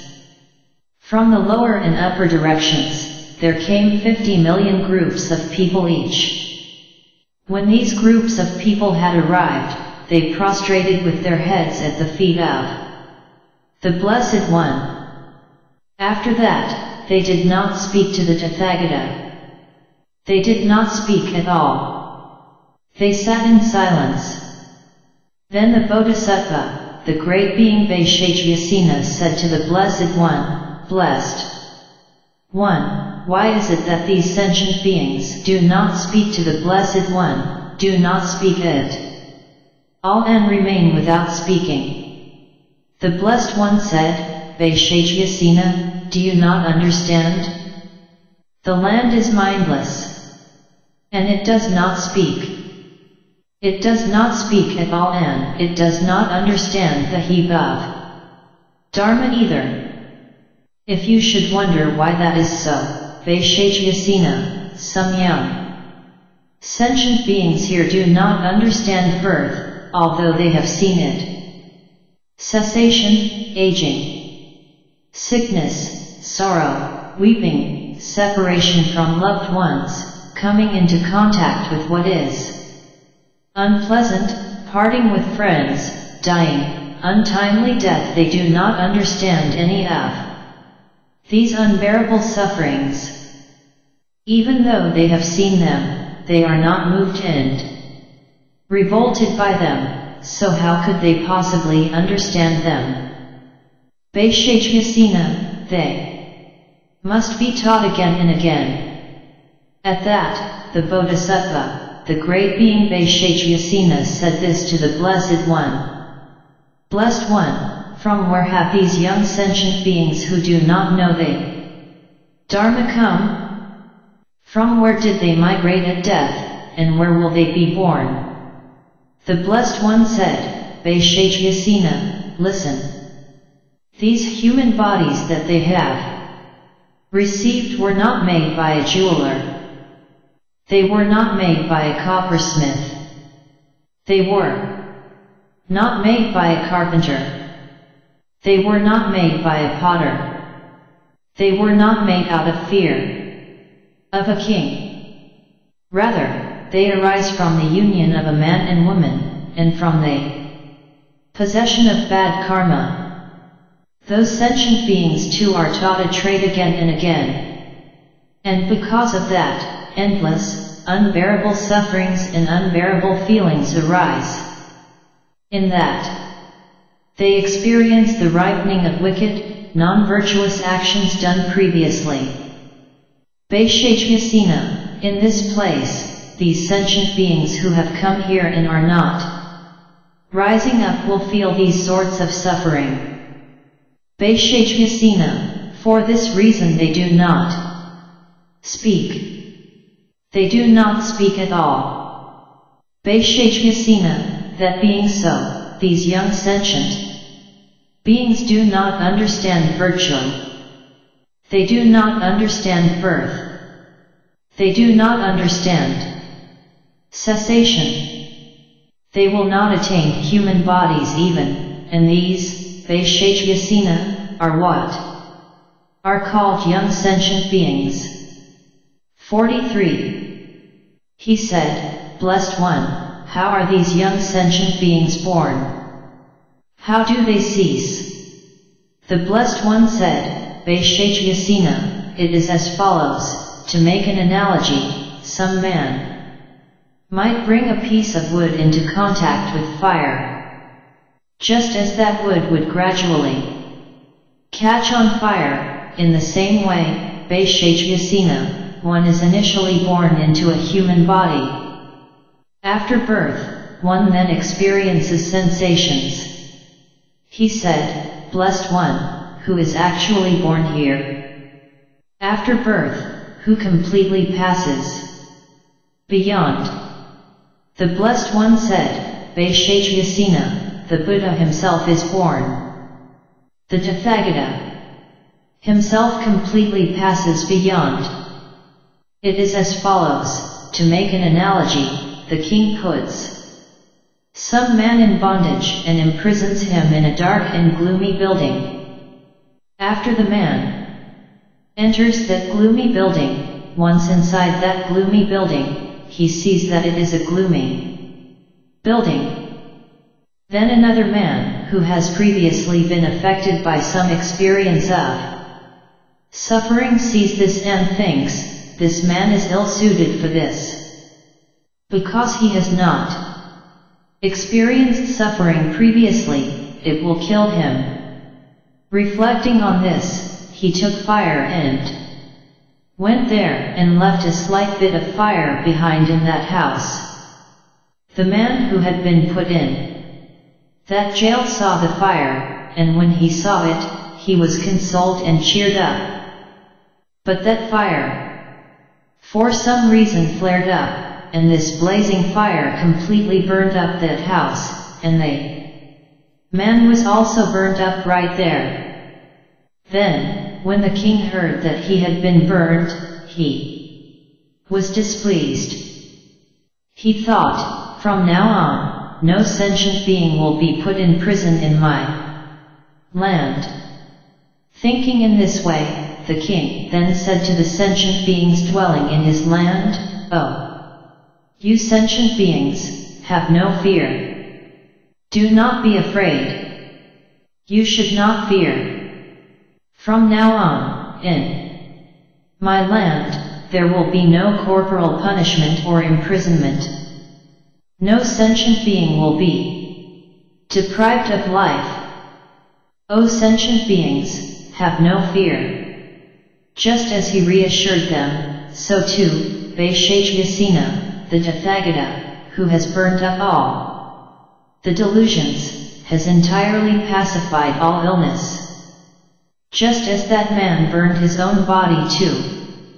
Through the burning of the building, and having set out for the sake of sentient beings.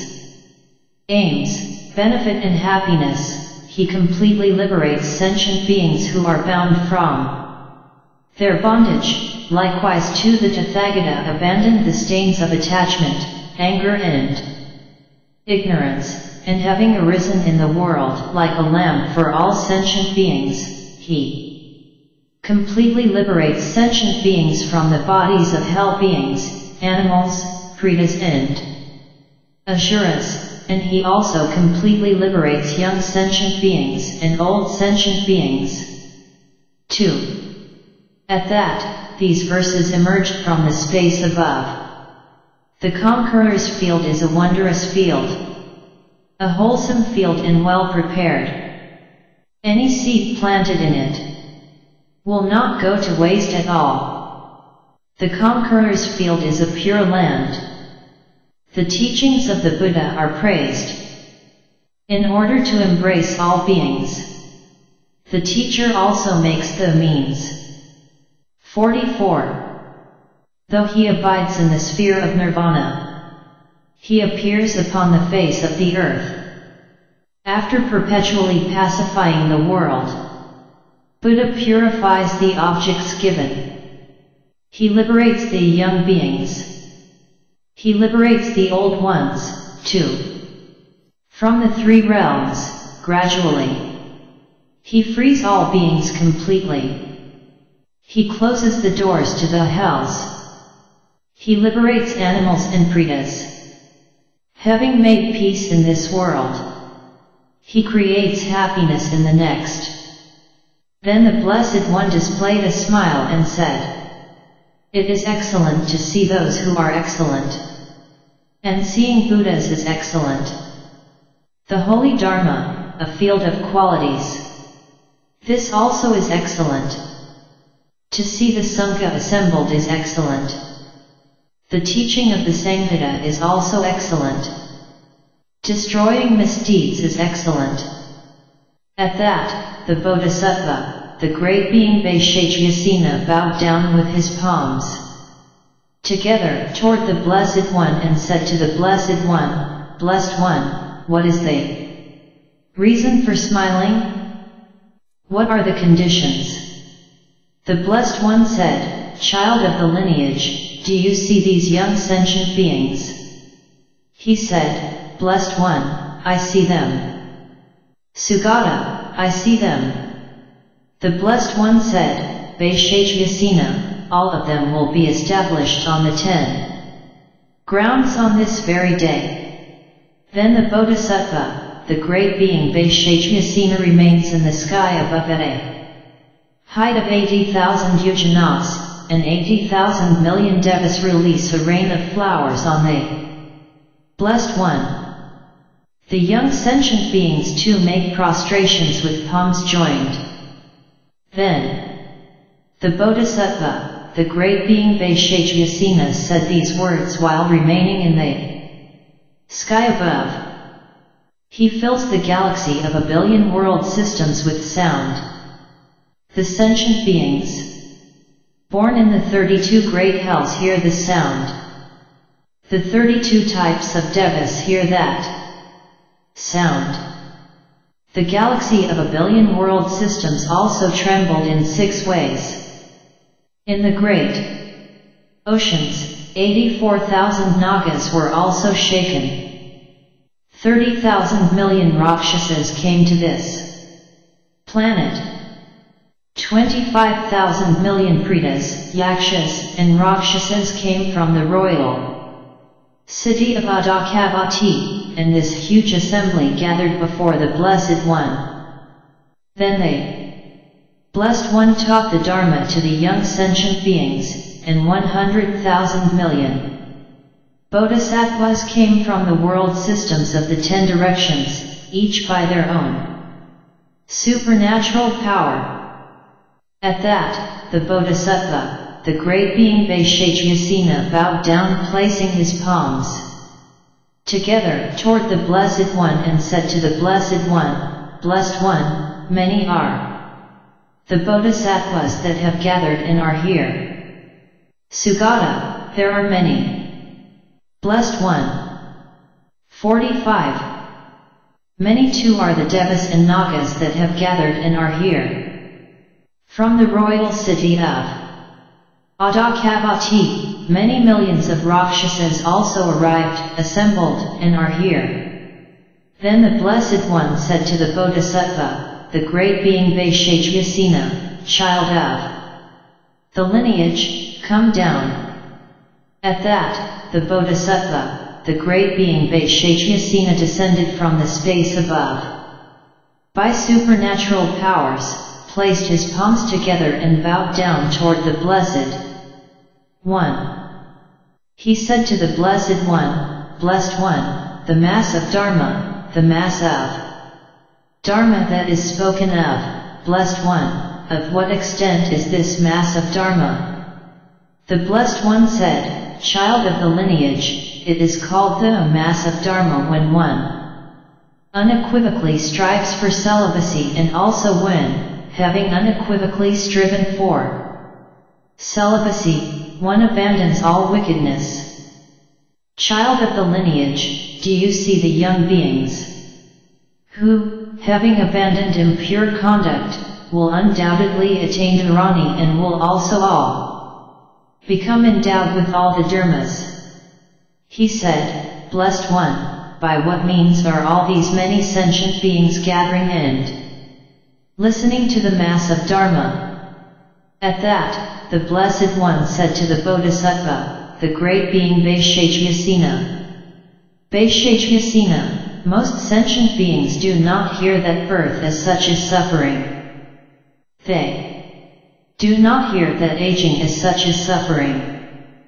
They do not hear that sickness as such is suffering, that sorrow is suffering, weeping is suffering, separation from loved ones and coming into contact with what is disagreeable is suffering. Death, after all these sufferings, steals away body and life. Vaisheshyasena, these are what are called all sufferings. Then those young sentient beings, having heard this teaching, bowed down with their palms together toward the Blessed One and said to the Blessed One, Blessed One, we too will die. The Blessed One said, you and all sentient beings will die. They said, Blessed One, how will our time of death bear down on us? The Blessed One said, Children of the lineage, at the time of death, at the last moment of consciousness, there is a wind called causing cessation of consciousness, a wind called confusing the consciousness, and a wind called disturbing the consciousness. End children of the lineage, at the time of death, in the final moment of consciousness. These three winds will stir up, they will confuse and they will cause disturbances. They said, Blessed One, what are the three winds that destroy the body at the time of death, when the consciousness ceases? The Blessed One said, Friends, weapon. Compelling and injuring cause they Destruction of the body. They said, Blessed One, what sort of thing is this that is called the body? The Blessed One said, Friends, it is also called completely ablaze, burned, mucus, belching, cremation ground, vile mind, a heavy burden, tortured by birth, violently shaken by birth, tormenting one's life force, and causing death end. Separation from loved ones. Friends, these are what is called the body. 46. They said, Blessed One, how does one die? How does one live on? The Blessed One said, Friends, what is called consciousness dies. Long-lived ones. What is called merit lives on. Friends, what is called the body dies bound with millions of sinews, endowed with 84,000 pores, connected with 12,000 parts and supported by 360 bones. 84 types of parasites live inside the body. And there is death for all these living beings, there is death, which is cessation. When a person dies, all those living beings also have their hopes dashed. Then, because all the living beings eat one another, this moves and disturbs the winds. At that time they will experience suffering. Some will grieve for their sons. Some will grieve for their daughters. Some will grieve for their companions. They will all be pierced by agonizing pains. They will try to eat one another, and then when they have eaten one another, two living beings are left and these two fight for seven days. After seven days have passed, one living being is destroyed. The other is freed. Long-lived ones, if you should wonder what it is that is called Dharma, what do you think? Just as these living beings clashed with one another and then died, in the same way, childish ordinary individuals also clash with one another. They are not frightened by birth. They are not frightened by aging. They are not frightened by sickness. They are not frightened by death. Just as the two living beings fought, so too do childish ordinary individuals fight one another.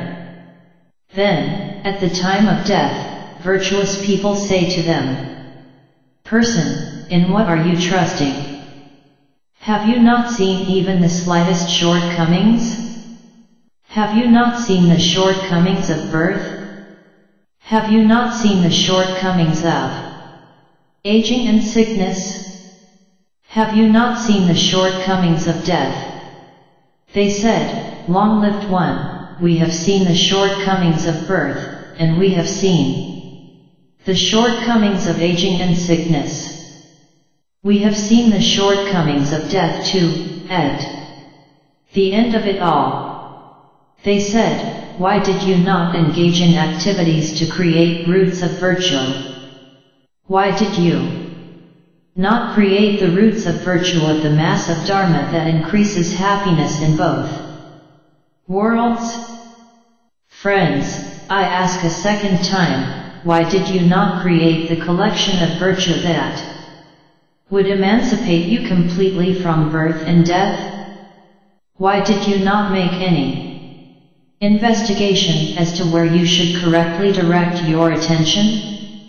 How did you not hear the sound of the beating of the gong on the earth? Have you not seen the sowing of seeds in the field of the Tathagata and the giving of incense, garlands and lamps? Have you not seen as well the offering of food and drink to the Tathagata, or the contentment of the four groups of followers Bhikshus, Bhikshunis, male holders of lay precepts and Female holders of lay precepts, these four groups of followers who are fully devoted to the teachings. They would speak like that to him and make accusations in order to benefit him, and Your Majesty, you did not do even the slightest thing. Man, after coming to this planet, Earth, you have committed non-virtuous actions. At that time, the Dharma king granted teachings to the dead person in verses. You have seen a Tathagata arise and heard the beating of the gong. You have heard the teaching of Dharma. That goes to the peace of Nirvana. 47. Nevertheless, you did not act. At that, the man spoke in reply. I was of a childish mind coming under the sway of wicked friends. With a mind befuddled by desire, I committed wicked acts. I followed my desires as well, and took the lives of living beings. I wasted even what belongs to the Sangha. Unbearable is the fruit that comes from that. With a mind that would do harm, I caused the destruction of stupas. I uttered two abusive words. Even my mother, I tormented. Of what I did with my body. The shortcomings I recognize. In the great hell of lamenting. Extremely unbearable rebirths I see. I will feel the sensations of crushing hell. Likewise, I will experience sensations. In the extremely hot hell, and in unbearable Mahavasai. Split open in great lotus hell, and as a hell being, into these sufferings. In the greatly fearsome marked with black lines. I will be born one hundred times. After they are killed, hell beings. Again will see those frightful things. Over and over, they will fall. 100 yojanas into great dangers. And they will not find any way out. Later, they will plunge into darkness. In the hell that bears the name razor. A thousand razors will arise. They will be born in front of razors. In the hundreds of thousands of millions. Due to faulty deeds I have done. My body will be sliced by them. The body will be destroyed completely by unbearable great and churning wines. Continually in hells like these, I will experience suffering. All these beings will see me, my body in tremendous pain. I took away others' wealth, as well. In order to sustain my household. 48. O my sons and my daughters. Brothers and sisters, similarly. Father, mother likewise too. Many friends and relatives. And servants and laborers. And cattle, livestock, and assistants. I went astray toward aims that were bad. For vessels of gold and silver, and likewise for soft, fine garments, and setting out to make a home. Through all of these, I went astray. A very splendid house I built, with men and women, lounging about. I went astray through the lute and cymbal, my uncontrolled mind filled with delight. Though my body was washed in scented waters. Even now it still lacks gratitude. Body, you are mindless, but for your sake I went astray. In the future, not one soul being will become my protector. When a great and churning wind unbearably ravishes my body, Likewise, I ate exquisite tasty foods. Savoring variety with my tongue.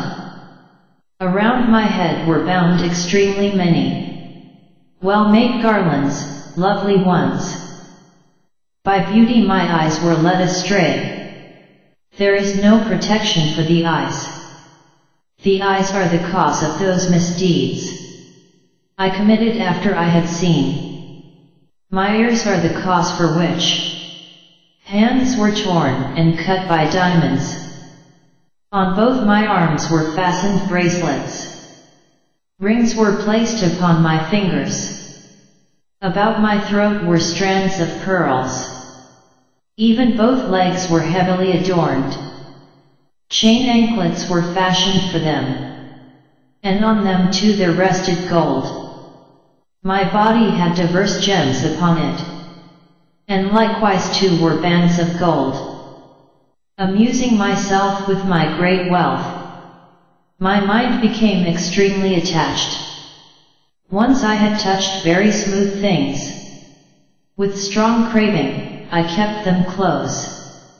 49. I also placed my body atop a variety of carpets and beddings. After bathing in excellent fragrant waters, I anointed my body with fragrance. I scented the air with incense of divine camphor and sandalwood. I beautified my complexion. I docked myself lavishly with musk. After anointing myself with scented antique oils and jasmine and champaca flowers, I clothed myself in garments of fine, white Benares muslin. After coming down from the back of an elephant, I mounted atop the back of a horse. I thought of myself as a king. People scurried in front of me. I was excessively familiar with female attendants, who were highly trained in song and dance wild animals who had done no harm. With arrows I struck and killed. Because I did not know of future lives. I committed wicked acts like these. I ate the flesh of other beings. And thus this suffering of mine will become unbearable. But I did not understand death. I was of a childish mind. And so I nourished my body. Now that death has come to me today. I have no one at all as a protector. All you friends and relatives. Why do you look into my face? For what do you wear tattered mourning clothes? For what do you weep and lament out loud? For what do you loosen and dishevel your hair? For what do you draw blood in grief? For what do you scatter dust about the head? For what do you beat your breast? During my lifetime I ought to have abandoned wickedness. Why are you in anguish? My body has become the food of jackals, dogs, crows and birds. It is of no use to nourish this body. It is the property of the serpent of death. And thus a person will continually be born. 50. The medicine that frees one from this fear. That is the sort of medicine to take. The medicine that the doctors gave. That is not of use to me. Give me now, at my dying time. The medicine of Dharma that sets one free. From the serpent of the delusions. Do not give flesh to me. Though this body has been nurtured so. It will be destroyed, inevitably. Since it bestows suffering. Why take up this heap of wickedness? This body, though tended with great care, will engage in vicious acts. Son and daughter, for what reason? Do you gaze upon me with your eyes? Protect me from this illness. O oh my son and my daughter! Why do you weep pointlessly? Do nothing unworthy for my sake. In order to support you, I even plundered others' wealth. Now that my death time has arrived, it is hopeless. What to do? I am terrified of birth and lower realms. I am completely crushed by dying as well. I feel acutely the sense of touch, of discrimination, sensations and conditioned mental factors. Due to craving, childish beings wander and reach unbearable results. Birth into bad families. There too one is bound to grief. Knowing I had little merit, I caused trouble for others. My generosity and ethics deteriorated completely. And I turned my back on the Dharma. Because I did not understand rebirth. I was deluded by the serpent of delusion. Due to ignorance, childish beings wander. Where there is no liberation not knowing the meaning of liberation. Confused, they commit wicked acts. Due to delusions, childish beings wander. Their minds continually disturbed. In the body that has various types of bonds, fire blazes and burns it up. 51. In places where there is no happiness, confused, the body utterly wanders.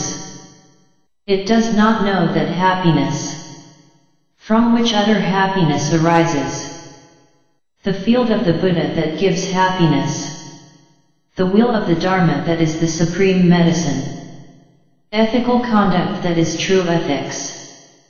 These are the pure voice of the Tathagata.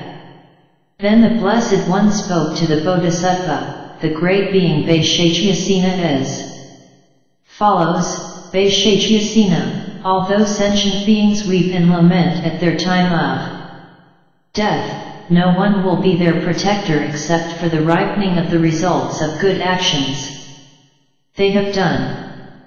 The Blessed One spoke these words and uttered the following verses as well. By committing wicked acts, they fall into sentient beings' hells. They will be dressed in burning garments, in their thirst, they will drink molten iron. Burning embers will fall on their bodies.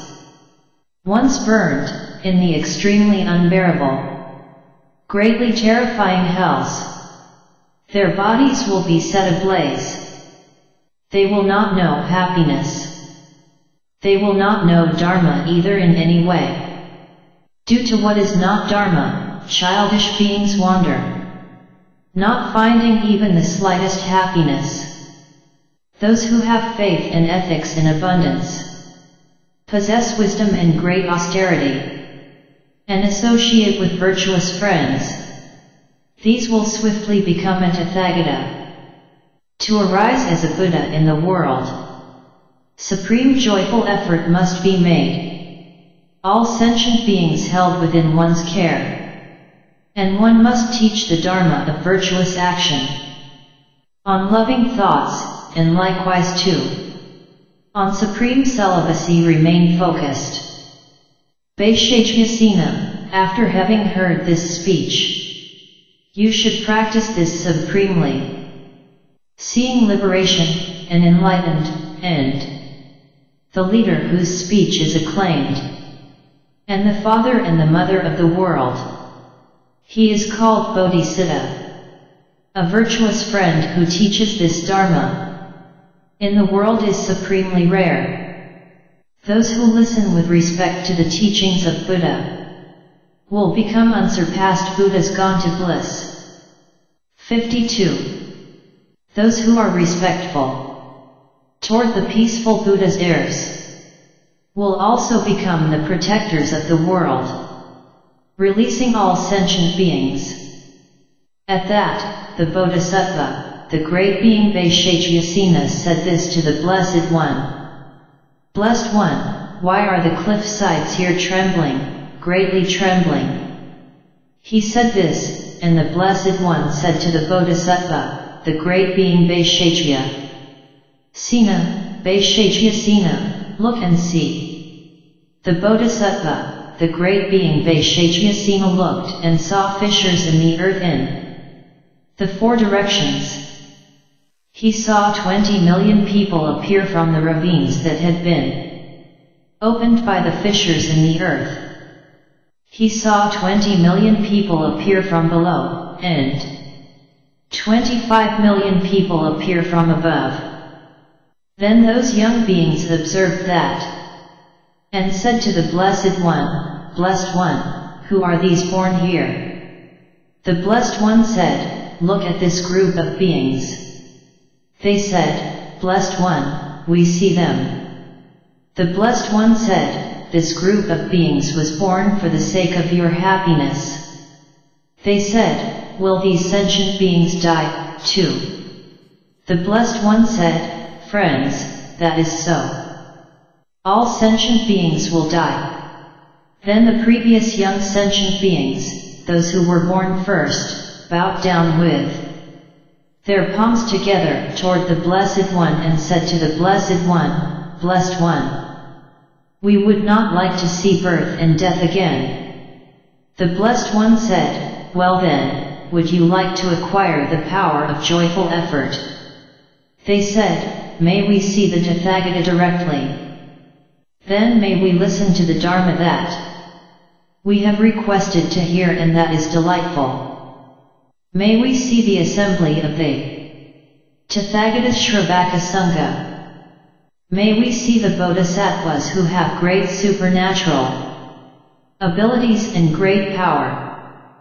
Blessed One, these are the sorts of things we like. We do not like to look at birth and death. Then, through supernatural powers, the Bodhisattva, the great being Vaisheshyasena and 500 other bodhisattvas arose from their seats simultaneously, and all arose into the space above through supernatural powers.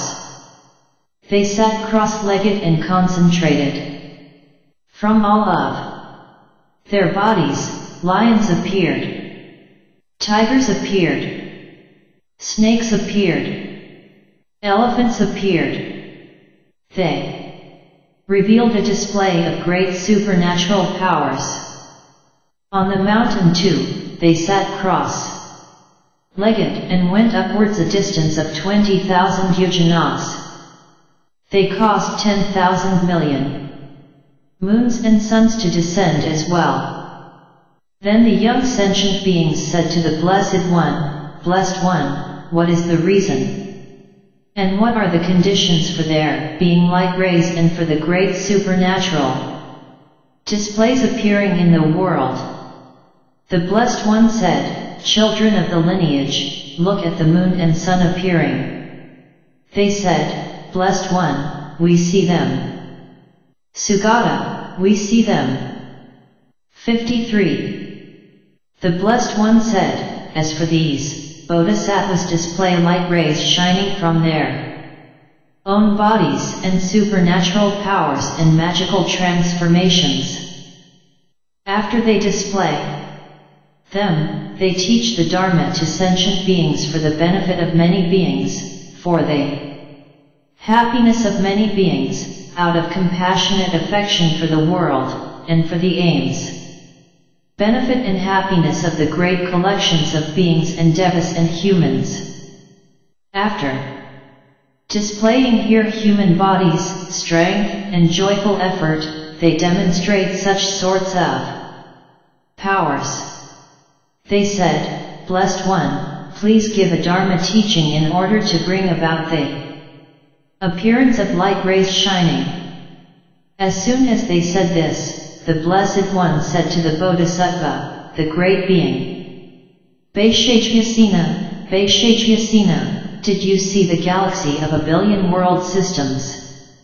Tremble in six ways. He said, Blessed One, I have seen it. Sugata, I have seen it. And he was considering, what if I were to ask the Tathagata about this point? As he thought thus, the Blessed One said, Vaisheshyasena, ask whatever you wish, and I will. Satisfy your mind with an explanation of whatever you ask. I will teach. I will analyze.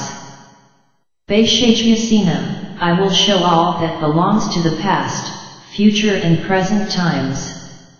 He said, Blessed One, please teach in order to clear away our doubts. Blessed One, I see. The Tathagata surrounded by 84,000 children of the Devas, 84,000 million bodhisattvas, 12,000 million Naga kings, 18,000 million Buddhas and 25,000 million Pretas and Pishachas. The Blessed One said, Vaisheshyasena, without a doubt, these sentient beings have gathered in an assembly before me and sat down in order to hear the Dharma. Vaisheshyasena, on this very day they will overcome cyclic existence. Out of a wish to benefit all sentient beings, on this very day they will attain the ten grounds. Having been established on the ten grounds, they will attain the sphere of nirvana. For the sake of liberation from aging and death. After doing deeds to bring about happiness, and to vanquish the noose of the delusions. They will accomplish the Buddha's teachings. He said, Blessed One, many abodes for sentient beings have arisen due to various karmas. Why do they remain surrounding the Blessed One? The Blessed One said, Vaisheshyasena, listen. Sentient beings, who are confused and do not know, how could they become free? These many young sentient beings today will attain Dharanis. In order to attain the ten grounds, they will come to fully know all dharmas. And they will attain those ten grounds. They will perform the activities of a Buddha. 54. They will turn the wheel of the Dharma. They will release a rain of Dharma. Thus, since beings have gathered, my teaching will be delightful. Devas and Nagas and Pretas, and terribly unbearable Asuras, will be established on the ten grounds. They will proclaim the sound of the Dharma. They will beat the Dharma gong. They will sound the Dharma gong. These young sentient beings also will have the power of joyful effort. Just as the Tathagata attained it. So will they attain the Dharma today. Then 5,000 of the young beings arose from their seat, placed their palms together, bowed down in the direction of the Blessed One and said to the Blessed One, Since there is no end found to bondage within samsara, the body is a heavy burden, Blessed One greatly fearful, unbearable. We find no path whatsoever. Indeed no path is seen, and thus, Protector, since we are blind, we ask you to gather us in. To you, the hero, we make requests. May the guide teach the Dharma. We were born with little wisdom, and find no happiness at all. Please do teach the Dharma to us. From unbearable suffering, set us free. Wherever it is that we are born, may we see a Buddha there. Then the Bodhisattva, the great being Vaisheshyasena went to where the young beings were and said the following. Have something to eat. Have some wonderful tasting drinks. Later when your fear has gone, listen to the Dharma fearlessly. They said, Venerable Elder, who are you? We ourselves do not know you. We see that you are beautiful. Your form is serene and your fame great. 55. You are released from the great fears of the world of pretas, hell beings, and animals. Just like one who beautifies the world. All your negativity is pacified.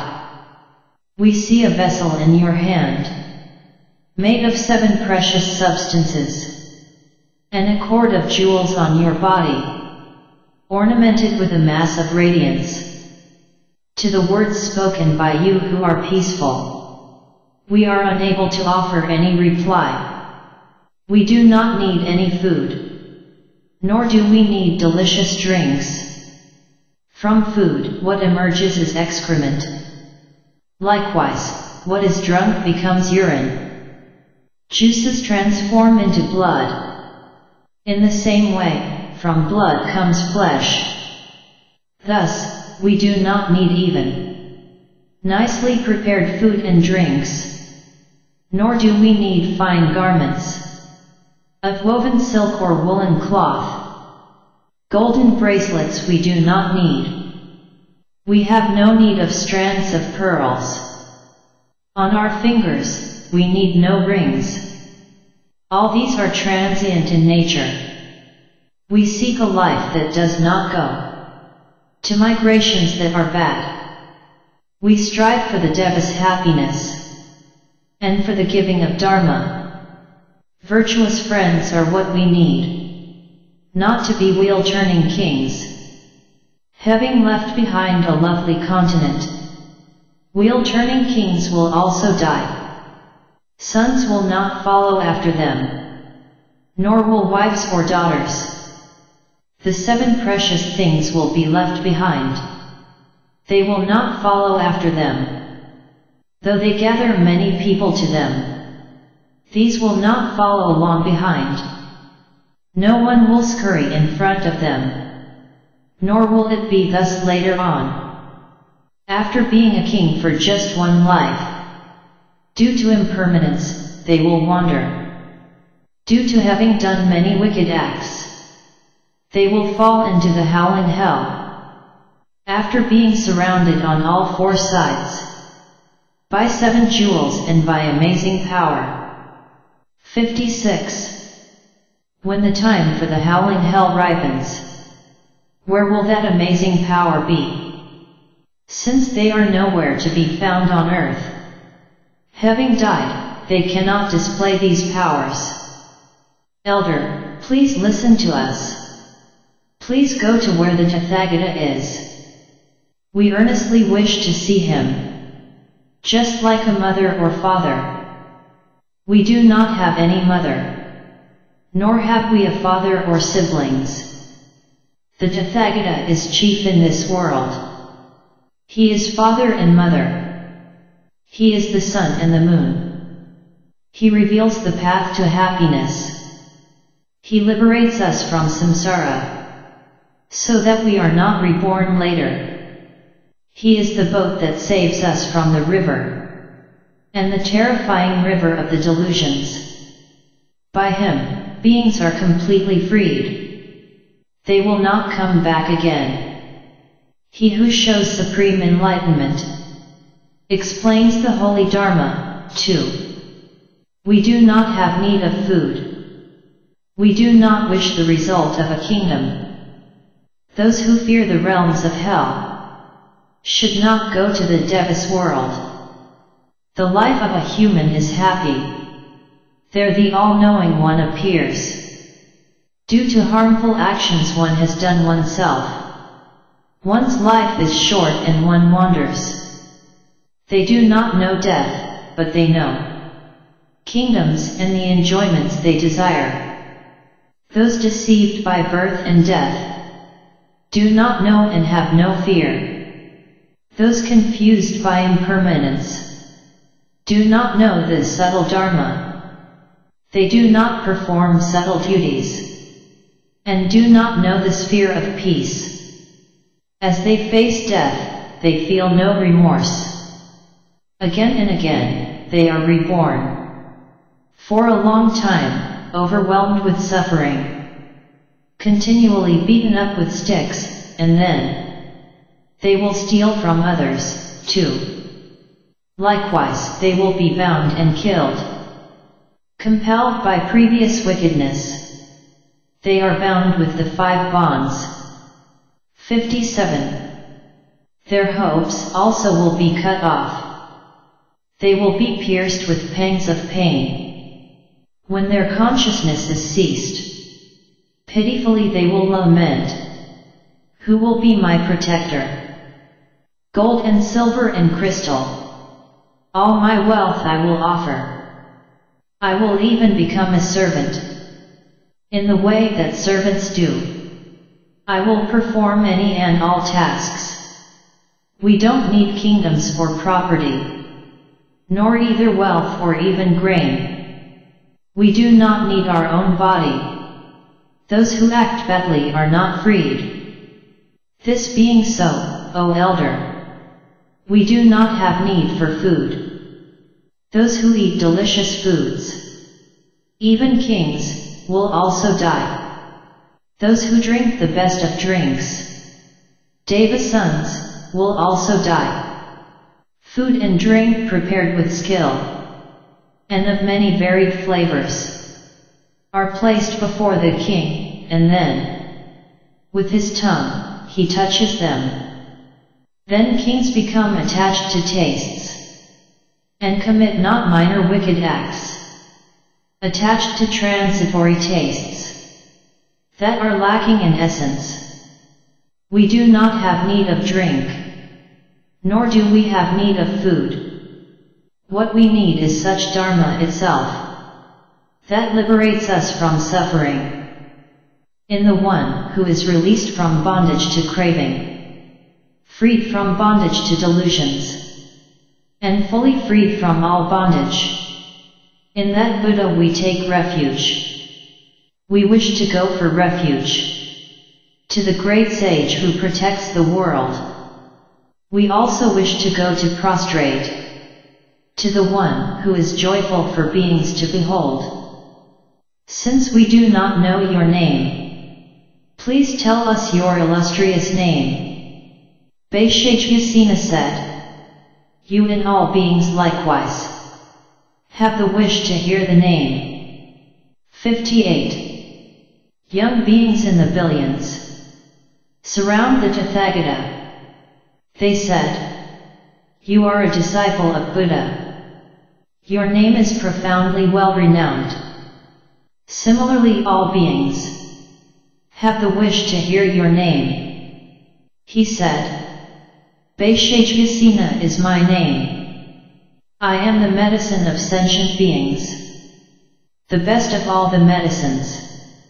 That one I will teach to you. The one that pacifies all the sicknesses that have infected sentient beings.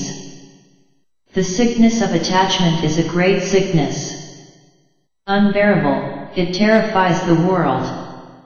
The sickness of ignorance is great and fierce, making one wander mindlessly. Sentient beings go to hells, and likewise, among pretas and animals. These childish beings possessed by anger, how could they be pacified? They said, By hearing this virtuous Dharma, we will be freed from all suffering. We are of childish mind and ignorant. But after being freed from all suffering, we abandoned doing wicked acts. May we hear the gift of Dharma. Having given up all wicked acts, we gave up dreadful suffering, too. May we swiftly see the perfect Buddha, the doctor who pacifies all sicknesses. He is the king of physicians, curing all those who suffer. To pay homage to the Tathagata. Elder, please do quickly go. After prostrating, please speak our words. To the leader of the world. Pacify fully this disease. The whole body is fully ablaze. Pacify this dreadful fire. That burns up and destroys our peace. 59. The burden of the body is a heavy burden. An extremely fierce and sharp burden. For us, who are overwhelmed with suffering. Oath-bound ascetic, have compassion. Being spare perpetually. The oppressive burden of anger and ignorance. Not knowing how to be freed of the burden. They shoulder it time and time again. Those who do not know the path of freedom. And who do not see freedom's path. Though they are aware of death. Still this does not produce fear.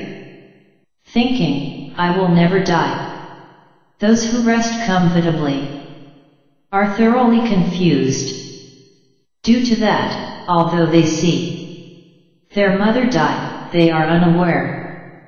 Some do not recall their father. Continually oppressed by disease and disturbed by delusions and karma. How in this case are we to eat? Ignorant and worn out by suffering. We are exhausted pointlessly. Suffering like this of yours arises on the basis of ignorance, discrimination, sensations and conditioned mental factors are a great fearful, heavy burden. Due to craving, childish beings wander thoroughly, unaware of Dharma. Surrounded by the burden of the body. They are born into the world meaninglessly. They need clean, exquisite clothes. Water to bathe in and lotions. They will need delicious food. That is gratifying to the body. The ear likewise makes one seek out the five attractive musical instruments. The eyes make one attached to figures. Made of the seven precious substances. The tongue also makes one search out all the delicious flavors. The body makes one continually seek soft and light objects to touch. The body attains a flesh coupling, even with pleasure, and from that. 60. This mindless body is produced. Who would find pleasure in that? In wearing very fine footwear. Therein my feet do find pleasure. Yet when it comes the time to die, these clothes and lotions offer no protection. Since even the body is no protection, no need to speak of clothes and lotion. What is called human is the body, it will attain breath and great strength. The power to listen and analyze. In that, this body has great qualities. Formerly I caroused and roamed. Always accompanied by horses and elephants. Since I did not know the Dharma that liberates. How attached I was to wicked acts. Since I did not know about future lives. For my amusement, I had wickedness done. Again and again I was born. Again and again death came to me. Again and again I saw sorrow. Thoroughly bound by lamentation. I saw also my mother's deaths. I saw the deaths of my fathers, of companions, sisters, children, wives. Since all that is compounded is empty, what being with a mind would be attached? But with my mind captive to desire, I thought them to be reliable. I did not observe the peaceful Dharma. There is no joy whatsoever in death. Due to a mind obscured by desire, I did not make offerings. Thus desire is without equal in wickedness. And still it has not been turned away. Mistaken fully, we were born. Beings are endlessly mistaken. Mistaken fully, we hear sounds. Holding on to what is not the holy Dharma. We seek liberation in meditation. We will not carry the burden of the body. May we become the chief of beings. Buddhas, teachers for the sake of the world. A Buddha is mother and father of the world. A Buddha who reveals the path. 61. Causes a rain of jewels to fall. Everywhere upon the earth. Foolish beings do not know. Of what sort the Dharma collection is. One who dedicates their mind to enlightenment will actualize the Dharma collection. All that is compounded is empty. Empty too are riches and wealth. When one sees as empty even oneself, at that point, one has no hopes. Elder, Vaisheshyasena. Please listen to these words of ours. For the sake of the Bodhisattvas, we ask you to go as a messenger. Recalling all the faults of samsara. Bodhisattvas are not fatigued. Endowed with effort and great austerity. They will collect all good qualities. Please go to where the teacher is. The teacher fully awakened into happiness. The conqueror who is not even slightly tired.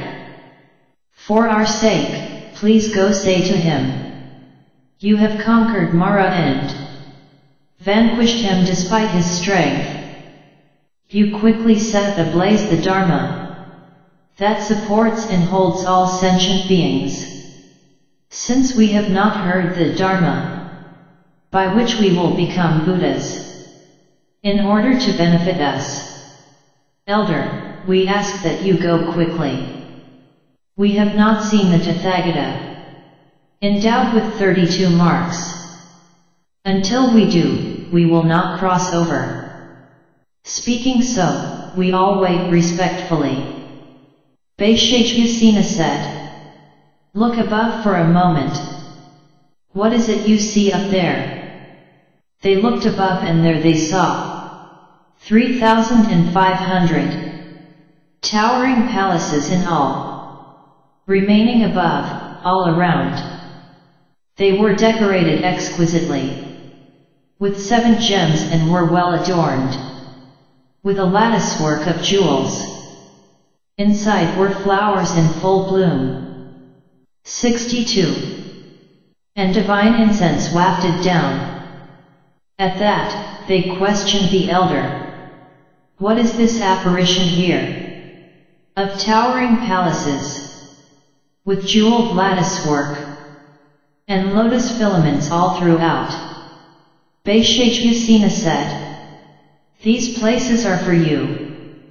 Go so that you may see the Buddha. Bow down to the one who is chief, who has passed beyond this world, to the one who illuminates the world.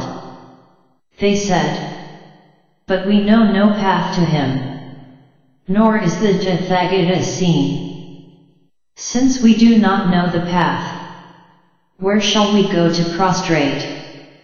Vaisheshyasena said, just as space is without bounds, and is not susceptible to being touched, so it is not possible to go, to bow before the teacher, who gives forth nectar, in just the way Mount Sumeru abides, So too is the teacher in his abode. Mount Sumeru is susceptible to being measured. As is the depth of the great ocean. It is possible to count all the specks of dust found in a galaxy of one billion worlds.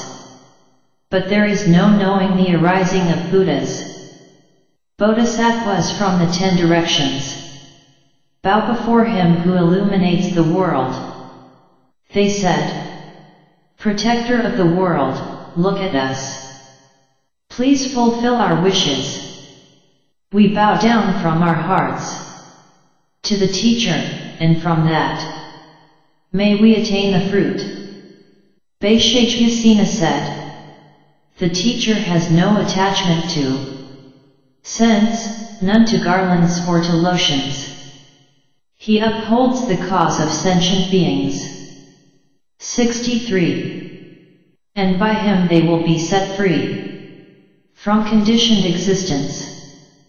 Those who have subdued their minds and gone for refuge to Buddha will not be engaged in battle by the supremely terrifying Mara. They will not come under the power of death. They will quickly attain Dharani. Their minds will be inspired with pure faith. And after that, they will see the teacher. Then the Blessed One, the Tathagata whose voice is delightful like the sound of a Kalavinka sparrow, displayed a smile.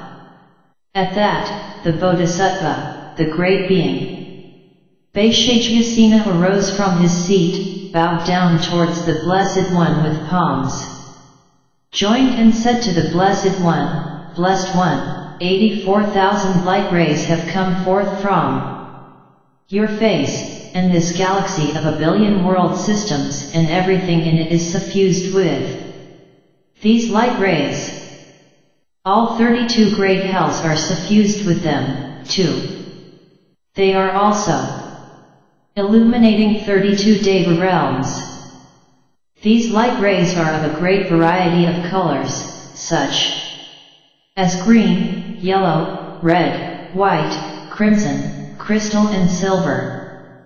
These light rays, after emerging from the face of the Blessed One, did everything to bring about the happiness of the sentient beings of the galaxy of a billion world systems, and after that they returned, circumambulated the Blessed One seven times and disappeared into the Blessed One's crown. What is the reason for displaying the smile that brought this about? What were they? Conditions. Then the Bodhisattva, the great being Vaisheshyasena also said to the Blessed One, Blessed One, if an opportunity were afforded to me, I would like to ask a certain matter. Of the Blessed One, the Tathagata, the Arhat, the perfect and complete Buddha, he said this, and the Blessed One said the following to the Bodhisattva, the great being. Vaisheshyasena, Vaisheshyasena, ask whatever you wish and I will satisfy your mind. With an explanation of whatever is asked. He said, Blessed One, after those 30,000 million young beings who arose had understood the teaching of the subtle Dharma of the Tathagata, they said to the old beings, you old ones do not know the Dharma. You are constantly attached to what is not Dharma and to non-virtue. When they say these subtle things that are unpleasant, speak out unreservedly and thus inflict harm, blessed one, why were they uttering these pleasant and attractive words? The blessed one said, Vaisheshyasena, do you not know why they speak these words? They speak things that are tender and extremely pleasant for the Tathagata. Because they have heard the Dharma, Vaisheshyasena, on account of that, they will understand the meaning of all the Dharma. They will become endowed with all good qualities. They will all realize Dharanis. From today on, they will abide on the ten grounds. Today they will sound the great Dharma drum. Today they will become endowed with the attributes of the great Dharma. Vaisheshyasena, do you see these towering palaces? He said, Blessed One, I see them. Sugata, I see them. 64. The Blessed One said, Vaisheshyasena, on this very day, these young beings will be seated inside these towering palaces and will then attain a clear realization of the Dharma. On this very day, they will bring about the completion of all the virtuous Dharmas. Today they will beat the great Dharma drum. Today many classes of devas will be made to attain a direct realization of the Dharma. Even many sentient beings of the hell realm dwelling in wrong realms, having heard the teaching of the Tathagatas, wisdom, will overcome cyclic existence and be victorious.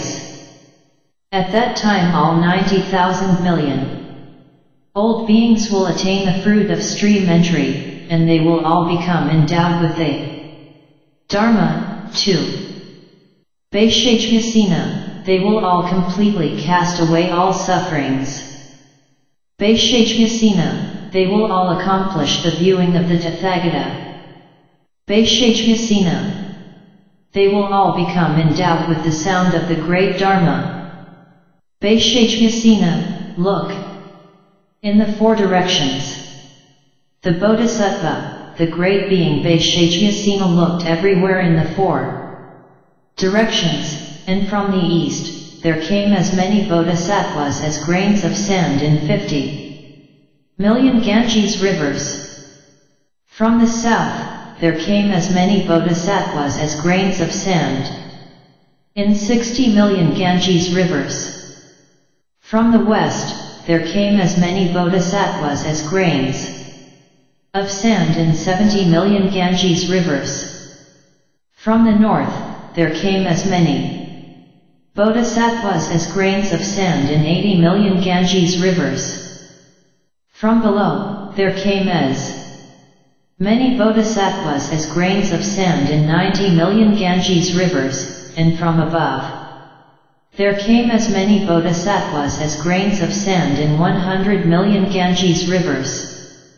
After they had arrived, they sat down to one side before the Blessed One.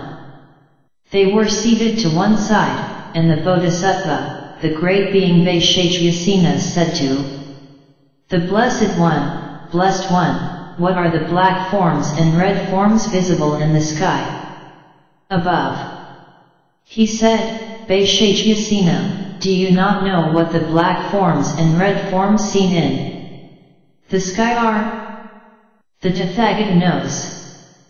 Vaisheshyasena, this is Mara. Vaisheshyasena, do you wish to see? He said, Blessed One, I wish to. Sugata, I wish to. The Blessed One said, Vaisheshyasena, bodhisattvas equaling the grains of sand in 100 million Ganges rivers have arrived. He said, Blessed One, what is the reason for the arrival of these bodhisattvas? What are the conditions? Vaisheshyasena, the young beings are the condition by which all sentient beings will now become endowed with the Dharma of meditation. Vaisheshyasena, do you see the sentient beings with various forms who have arrived here and the various blessings that have arrived here through supernatural powers? He said, I see as many bodhisattvas as grains of sand in 100 million Ganges rivers end. as many bodhisattvas as grains of sand in hundreds of thousands of myriad millions of Ganges rivers abiding through supernatural powers, and they abide with many forms, many colors and many shapes. Those bodhisattvas abide in the abode of the area. Dharma. I have seen those bodhisattvas abiding in places of Dharma together with their retinues. 65. After the Blessed One had spoken thus, the Bodhisattva, the great being Sarvashura, the Bodhisattva, the great being Vaisheshyasena, and all the young and old Bodhisattvas, along with the entire assembly and the world with its devas, humans, asuras and Gandharvas rejoiced, and praised the speech of the Blessed One. The Noble Sanghata Sutra Dharmaparyaya is completed. Translated and edited by the Indian master Jinamitra and Danashila and the Chief Editor Lotsawa Pandey Shetty, and established after correcting with new language. Colophon, this English translation from the Tibetan was prepared by Venerable Damcho. Diana Finnegan, Alhundup Damcho, after reading the text with Venerable Geshe. Alhundub Sopa and then comparing the Tibetan with the Sanskrit. In addition to the invaluable assistance from Geshe Sopa, this translation was checked against the Tibetan. With occasional reference to the Chinese translations by Shen Gai, Roy, Li, whose copious suggestions vastly improved this translation. Proofreading and copy editing was offered in the final stage by Venerable Jalton Mindrol. Many others generously contributed to this text, but all faults are the translators. The translation was completed on January 25, 2006, in the home of Lama Zopa Rinpoche in Aptos, California. This Edition was finalized, with typographical errors corrected, on August 31, 2006, in Visakhapatnam, India. May the kindness of the Buddha, as embodied within this wondrous sutra, fill the hearts of all beings and turn them all to virtue.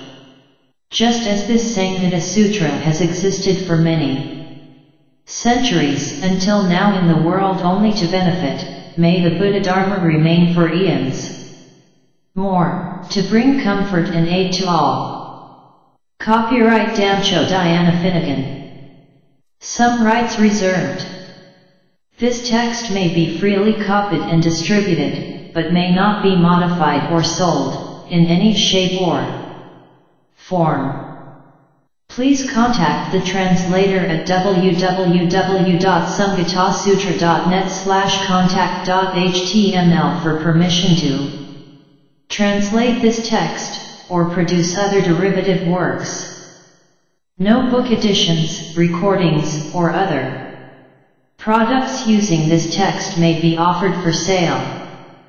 This copyright message and the colophon must accompany all copies made and any copies, full or partial, must include full attribution. 4. Sponsored publications, sponsors colophon, and dedications must appear at the end of the text. After the translator's colophons. For full text of this copyright, see http creativecommons.org slash licenses slash by-nc-nd slash 2.5. To apply for rights to translate this English Sanghata into another language, please see http www.sanghatasutra.net slash for underscore translator's dot html for a glossary of the Sanskrit terms that appear in this translation, as well as guidelines. For recitation and further information about the Arya Sanghata Sutra Dharma Paryaya, please visit www.sanghatasutra.net. 66